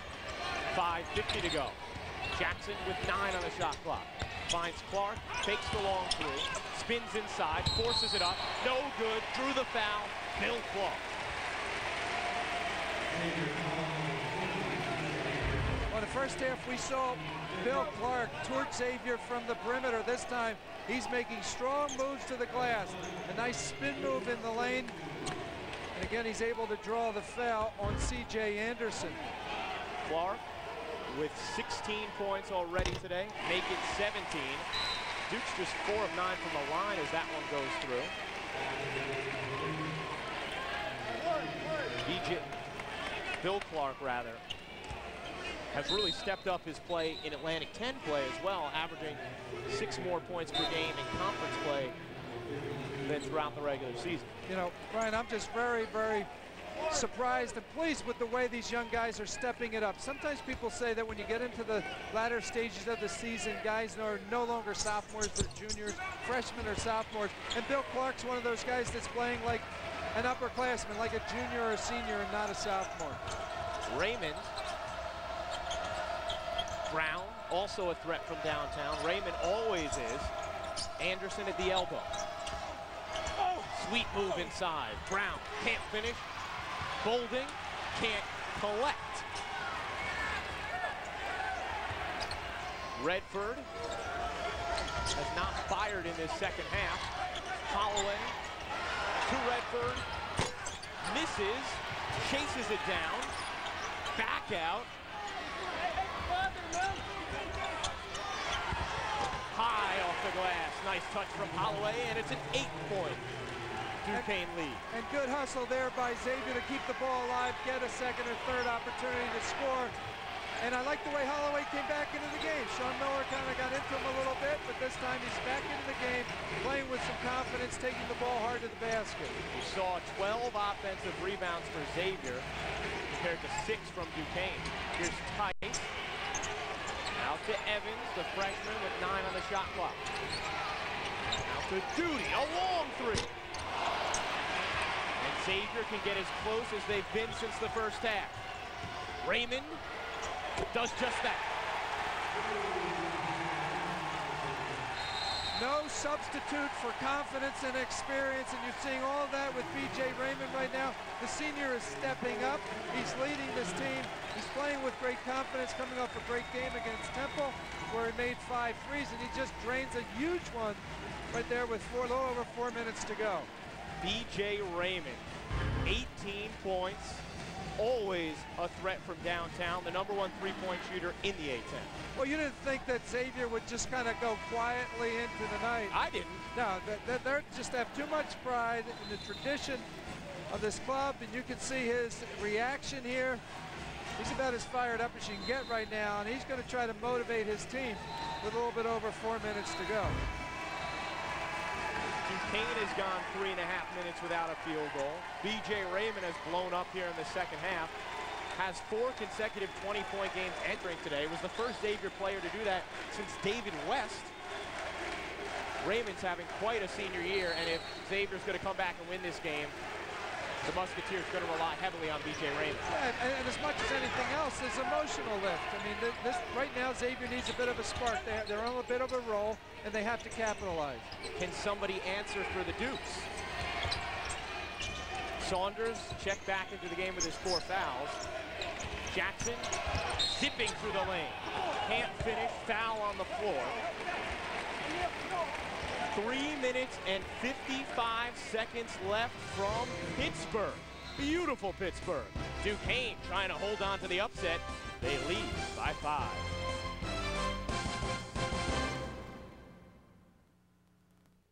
It's good to get away.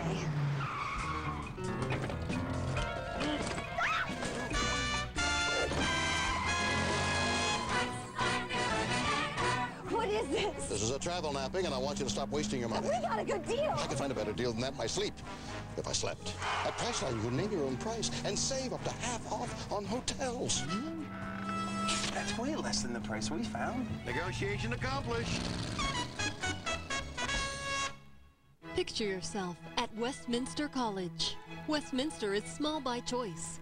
This means you will receive the personal attention you deserve. Westminster is ranked as one of the best liberal arts colleges in the country and is a national leader in graduation rate performance. Our 98% placement rate means Westminster graduates are in demand. Schedule a visit to learn more and visit us online to see if you qualify for up to $76,000 in Westminster Merit Scholarships. Succeed at Westminster College.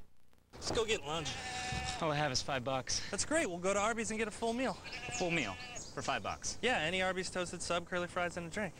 Yeah, right. You get all that for five bucks. I'll marry a goat.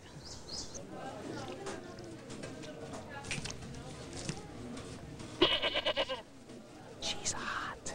The Arby's $5 toasted sub full meal deal. Any of our four delicious toasted subs, curly fries, and a drink for just $5. So good it'll have you saying, I'm thinking Arby's. This presentation of college basketball has been brought to you by Chick-fil-A. We didn't invent the chicken, just the chicken sandwich. A look of downtown Pittsburgh right now holding a very tight basketball game at the Palumbo Center. Duquesne on top of Xavier, 62-57, led by as many as 15 in the second half. Take a look at the game reset. Two timeouts apiece remaining for both clubs. 16 fouls on Xavier, 8 on Duquesne. That means the Musketeers in the bonus. Duquesne one Xavier foul away from being in the bonus. And Duquesne's played a couple close games as of late, but come out on the wrong end. Yeah, I'm just wondering just what their confidence level is as they come down to the last three minutes of this game. I think Xavier has the edge here because they're much more experienced. The Duquesne Dukes had lost two overtime games, close one to St. Joe's, obviously, and then recently to St. Louis. Has Duquesne got a bit too conservative in the second half, too? You know, interestingly, Ryan, they, they only have 17 points in the second half. They had 45 at halftime and only 62 right now, so they're playing at a much slower pace. Rebound Brown. Here comes Xavier, a chance to cut it a little bit closer.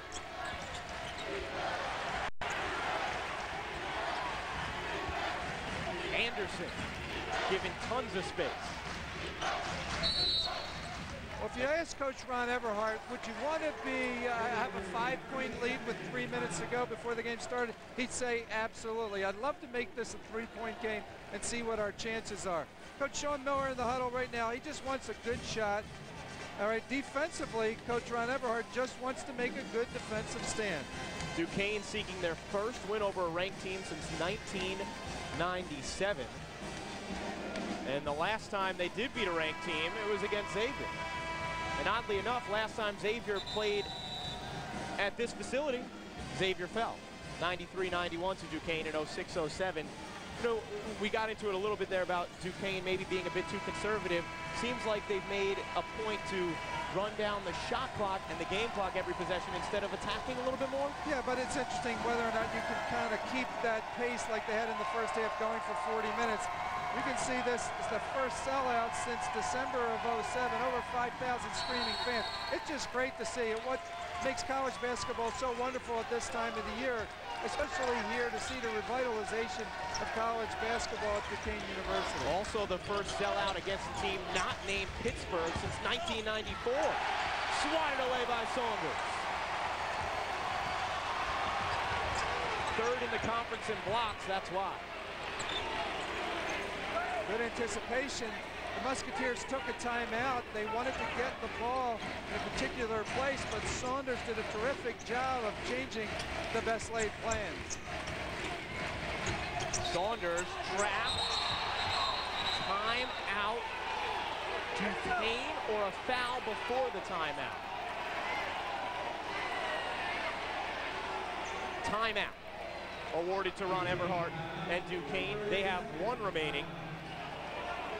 Saunders was about to be called for five seconds there. Well, that was really a foul on C.J. Anderson. You know, he was trying to keep the ball away from Clark, and he was aggressively pushing him away from the ball. And really, I, I think the official bailed out Xavier because the other official was about to call a foul on C.J. Anderson. And that's why Ron Everhart was upset going into that timeout. This season, you see Xavier has been wonderful in games decided by five points or less. 5 and 0. Duquesne in games this close have struggled a bit. 9 and 18 under Ron Everhart. Well, I think Duquesne's just not quite as experienced, but these guys are getting tremendous amount of experience this year.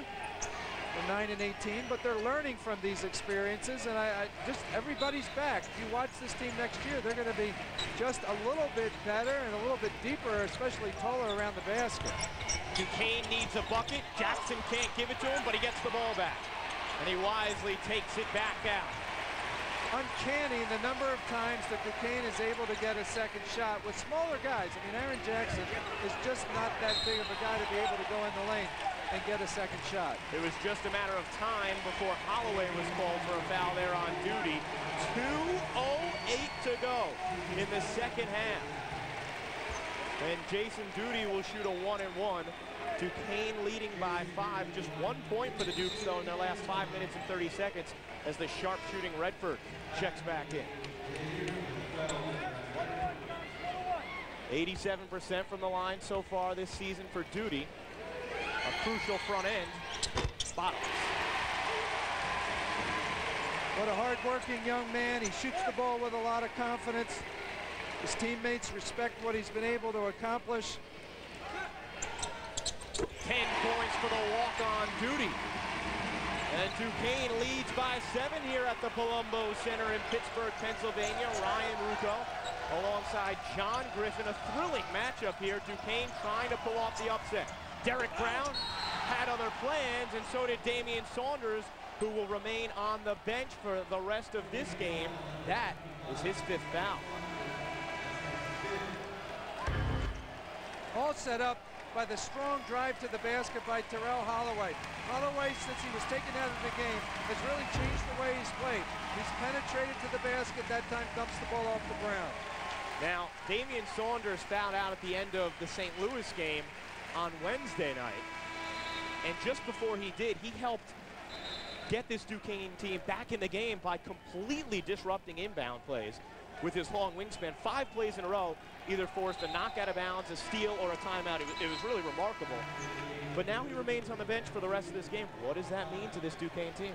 Well, I mean, Coach Ron Everhart has some choices here, and basically he needs guys in the game who are going to take care of the ball on the offensive end and be able to go to the foul line and make shots.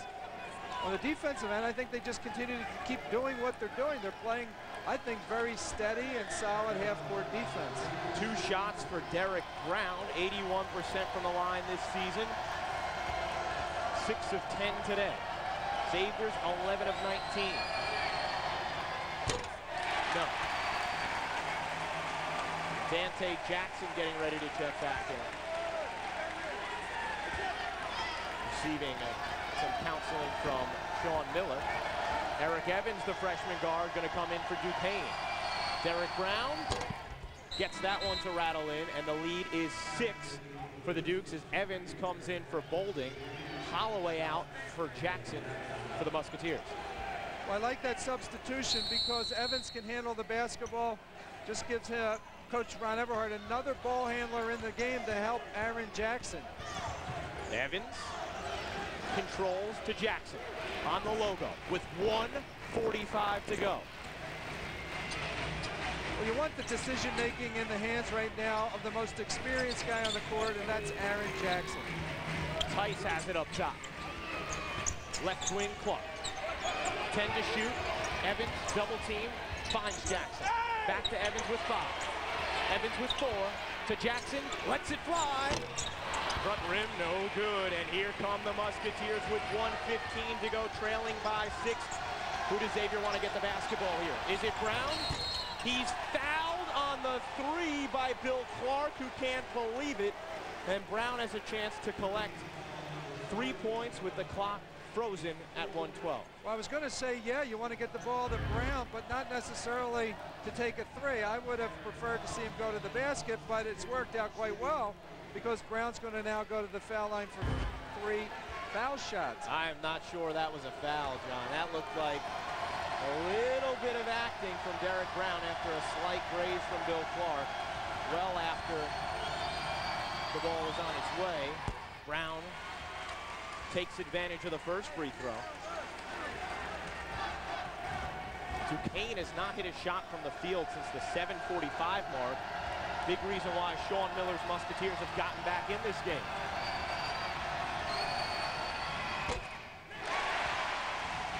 No good for Brown. Xavier's free throw woes continue today. 13 of 23 from the line. 56%, you're not going to hang that on the refrigerator. He's an 81% foul shooter. This is the guy you want on the foul line at the end of the game. But he misses two of three. Great rebound by C.J. Anderson, though, and a second chance for Xavier. Raymond can't get it to go. The tip from Love. Knocked into the arms of Love, who's called for the charge. Well, that was the only way that Duquesne was going to be able to stop Xavier around the basket. There's nobody really to match up with Jason Love. Xavier hustles to keep the ball alive, and you can see as Love just kind of lowers that shoulder, throws the elbow, Duquesne able to draw the offensive foul. Under, play. under one minute to go for these Duquesne Dukes. Leading by five, 64-59 over ninth-ranked Xavier, who won 11 straight. David Tice gets fouled by Love. That's his fifth. He will exit. Well, I think that was a smart play by Xavier to foul Tice. Tice is a 36% foul shooter. Part of me actually was wondering why he was in the game, but a good move by Xavier to put him on the foul line. David Tice from the line this season, 5 of 19. Jason Love, six points, fouls out. For Duquesne, right now, 46 seconds away from your biggest win in over a decade. What are you thinking right now if you're Ron Everhart and the Dukes in that huddle? You know, I certainly don't think about uh, winning the basketball game. Like that, that, that moment hits you when it happens. You're really just focused on playing good basketball, and if it's going to take 46 seconds to win the game, so be it. It might take another 10 minutes. But as a coach, you really don't think about the outcome. You think about what's right in front of you at the moment, and that is we want to set up our defense if Xavier gets this rebound. It's a one and one. Tice, as we mentioned, 36% from the line. Xavier fouled the right man, but he answers. Ron Everhart pleased, so is the crowd. Duquesne by six over the ninth-ranked team in the country. 6-0 on the road this season. Ron Everhart saying to his team, don't foul anybody. And this is where a coach might know a player a lot better than you and I, Ryan. He might see Ryan Tice take shots in practice and make them critical situations in practice. We haven't seen that. We're just looking at the numbers. But Tice makes two huge foul shots. Oh, were those big. And the crowd is on their feet, hopping up and down. Xavier trails by seven. Whistle on the floor. Evans called for the bump. Holloway will shoot a pair. Xavier in the double bonus. And as a coach, I know, I, I see you leaning back in your chair, John. You got to cringe at that because the last thing you want to do is give Xavier a chance to score points without the clock winding down. Yeah, that's absolutely true. However, I'll give Holloway credit for going to the basket hard and making the contact.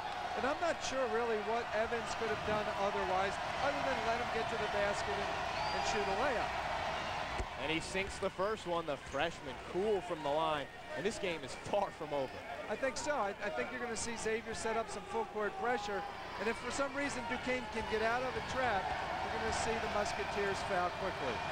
Holloway misses the second one. Great box out by Tice. Jackson is fouled. And David Tice allowed the deciding play to happen at his hands in that St. Louis game when he did not box out Willie Reed of St. Louis. A three-point play sealed the overtime win for the Billikens. But right there, a great box out by Tice, giving the red out reason to jump up and down. Coming to the game this afternoon, I was on a flight with some folks from Duquesne, and, and, coming into this game, they were hopeful that Duquesne could make this a competitive game. And it's been much, much more than competitive. The student body here, I mean, is, is you know, standing, ready to run out onto the court. And right now, Duquesne, the, the game is right in Aaron Jackson's hands. I mean, he has an opportunity to to make this a couple possession game. It's already two possession. It could be a three possession game if he can knock down a foul shot. Now the issue here is the scoreboard had not yet changed the 19th foul to the 10th team foul on Xavier. So the players were under the impression it was a one and one for Jackson, but it was and is in fact two shots. The first one no good. Here comes the second one for Aaron Jackson, who from the line this year 81%. And he makes that one. Who gets the ball here for the Musketeers? Well, you just need a quick shot. Listen to that crowd. Is this the Palumbo Center or Heinz Field? Well, Pittsburgh has a lot to be proud about right now when you think back to a week ago and what happened with the Steelers. I'm not sure this is quite as big, but to the fans here right now, this is every bit as exciting. And for these Duquesne fans that have waited an awful long time to celebrate with a huge win over a nationally ranked team, they are on the verge. And you know, a celebration against a nationally ranked team means you storm the court. And it's a bit of a jump for those Duquesne fans. That's not your average leap. Uh, uh, you got to be a little careful. You, you have to be somewhat agile to make your way on your feet and onto the floor from that student section. I think the guy that's sitting at that table is wise to move because there's 28 seconds separating that student body from this court. It's a good idea for him to get his papers and briefcase out of the way. Coach Ron Everhart, however, isn't thinking about that. Right now, he's thinking about playing good defense on Xavier as they call the timeout to set up a play. And I think in this situation, you're really trying to set up two plays. You're trying to set up the offense and then what you're going to do defensively after you score. Very capable three-point shooters on the floor for Xavier. Redford, Raymond, Brown, Holloway, they all can hit from downtown. 23 seconds to go. Holloway for Redford. The clock winding down. Redford fires it up, banks it in, and don't go away yet. You don't have to call the timeout to stop. The clock has already stopped. And a foul on BJ Raymond. 16.1 seconds remaining. Redford took that one from NBA Ray. You know what? Uh, Redford's a really good shooter. He missed that shot. He flat out missed that shot. And and and the ball, you know, he, he missed it right by an inch or two, but he got, you know, I'll call that good fortune because he's a fantastic shooter, and that was not by design. Mr. Basketball in Michigan his senior year last season in high school. Here's Mr. Duquesne, gets the roll. I mean, I give Brad Redford all the credit in the world for working hard at being a great shooter, but that just wasn't the shot he intended. He was well defended on that play. Jackson to push the lead up to six. Got it. Jackson with 19. Here's Holloway coming on 10 seconds remaining. Buries it. Full court pressure. You don't have to call the timeout. You need to get a foul quickly. Two huge threes here by the two young guys from the Musketeers. Terrell Holloway drains a three, the freshman. And how about Brad Redford? The other freshman knocks down a three. So the Musketeers score six quick points. Try to close this gap. Evans now, another freshman, goes to the foul line. This is the closest Xavier has been since they trailed 9 to 7 with 15.50 to go in the first half. Aaron Jackson will shoot the free throws, or will Eric Evans? There was some confusion as to who the foul was actually called on. Whoever shoots it, it will be two shots. Jackson entered this game at 81% from the line. Evans, 78% from the line. And the officials going to talk about it and find out who this foul was on as the teams huddle at their respective benches. What's Sean Miller saying to his Xavier team right now? Well, again, he's just looking to, you know, as, let's just replay this for a second. I think the the official blew the, the call before Evans caught the pass. So my guess is Aaron Jackson's going to go to the foul line. And if Aaron Jackson goes to the foul line, there should be a little more time put on the clock as well. Probably a second, but you know, when you ask me what Sean Miller is going to do here, one, he's, he's planning as if Aaron Jackson's going to miss a free throw, and they want to push the ball up the court quickly with eight seconds to go. Whoever gets the outlet pass is pretty much going to have to push it down and take the layup if it's available or take the three. Duquesne has made five of their last six in this final minute. They get six and seven. They lead by four. No time was put back on the clock. Probably should have been at least nine seconds as Bolding checks back in for Eric Evans. What do you want? The students on their feet at the Palumbo Center. They can taste the upset. The excitement palpable. Jackson trying to increase the lead. Yes. Talk about a confidence builder right now. This is going to really change everything for Duquesne. Holloway swoops in and finishes 1.9. Left to go. Duquesne, 71. Xavier, 68. Go for the steal and the desperation three. You looking to foul again here? Well, you're going to have to somehow come up with a steal. I mean, that's your objective here, and if they don't come up with a steal, you got to foul right away. Some dispute right now in terms of how much time should be on the clock. And there should be a little bit more because when Jackson was fouled, it was not at eight flat, it was at nine point something. It was when Evans was touched on the previous play. Let's take a look at that. Shot by Holloway. Well, you can oh, see the, the clock, clock, started yeah, there the clock started before the ball was actually touched, so they're going to have to go back and put a couple seconds back on the clock. So the reference I was making to the clock came on the Duquesne possession prior to that, but right there, some time should have been added on for Xavier as well. And, you know, people say a second or two, but when it's this late in the game, a, a second or two means a lot. Oh, it's huge. It's huge. You know, when I first started out in coaching and before you had games on TV, I would send my assistant coach to the scores table to make sure that the timer in an away gym didn't have a quick finger. I'm sure this wasn't by design. This was an accident on the part of the official timer, but again, he just flipped the switch too quickly.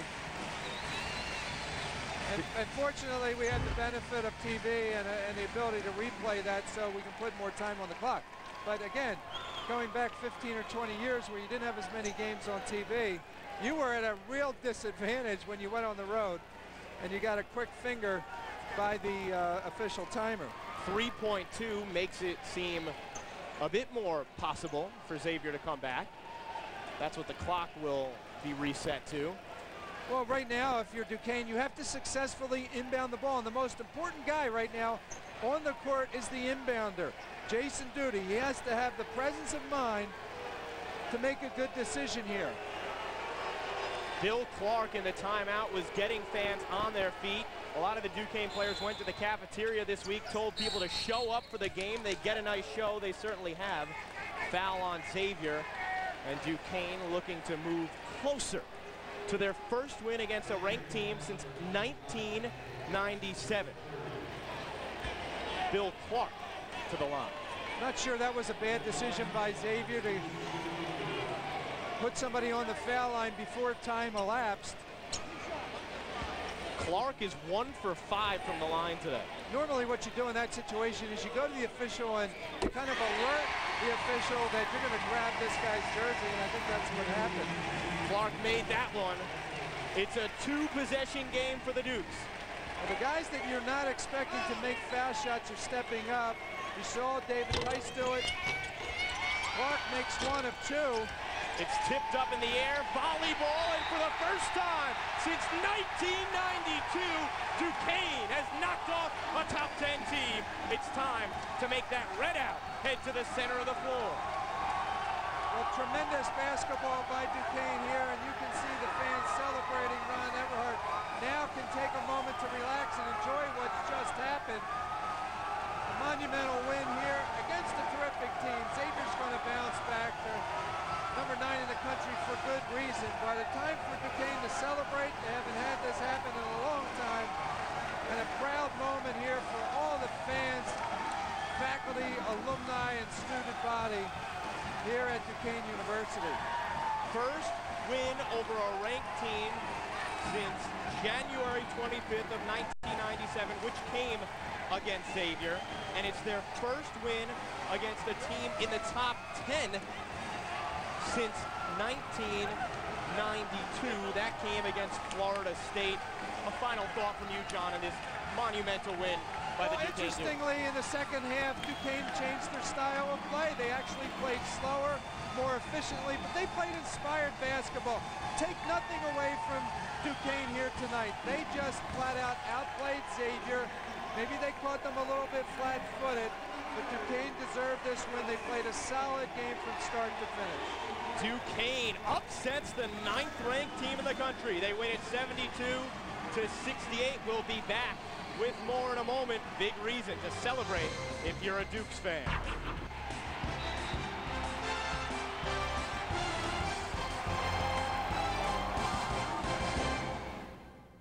What's this generation coming to? Same great deli taste that's wowed them for generations past.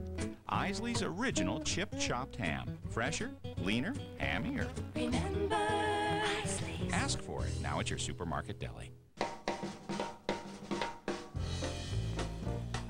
Hi, I'm Carl Swanson, owner of Equipco in Bridgeville, PA.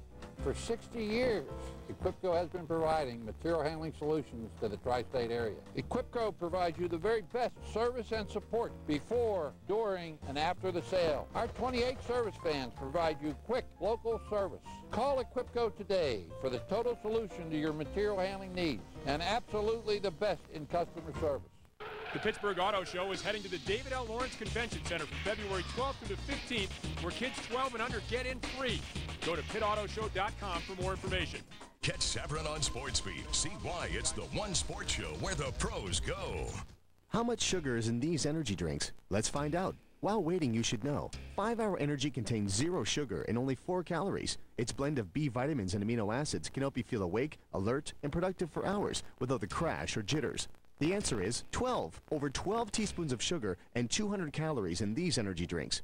Zero sugar and 4 calories in 5-Hour Energy. There's a reason people choose 5-Hour Energy 2.5 million times a week.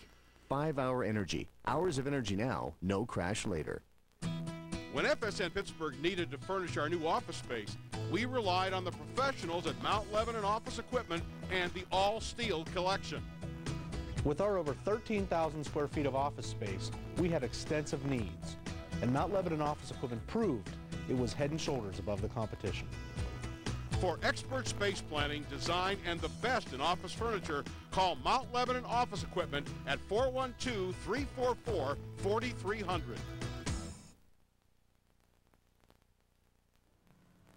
Duquesne upsets ninth-ranked Xavier 72 to 68. Ryan, a proud moment here at the Palumbo Center. These fans have been waiting a long time for a, a day, a moment like this. Ron Everhart has brought the club back. Now they have some momentum in the most critical part of the Atlantic 10 season, but a proud, proud moment for everybody here. But Duquesne Duke celebrating in the middle of their fans for John Griffin and our entire CBS College Sports crew. I'm Ryan Ruocco. For the latest Atlantic 10 scores, news, highlights, and analysis, log on to Atlantic10.com. This has been a presentation of CBS College Sports, the pulse of college sports. Duquesne beats a top 10 team for the first time since 1992. They knock off ninth-ranked Xavier.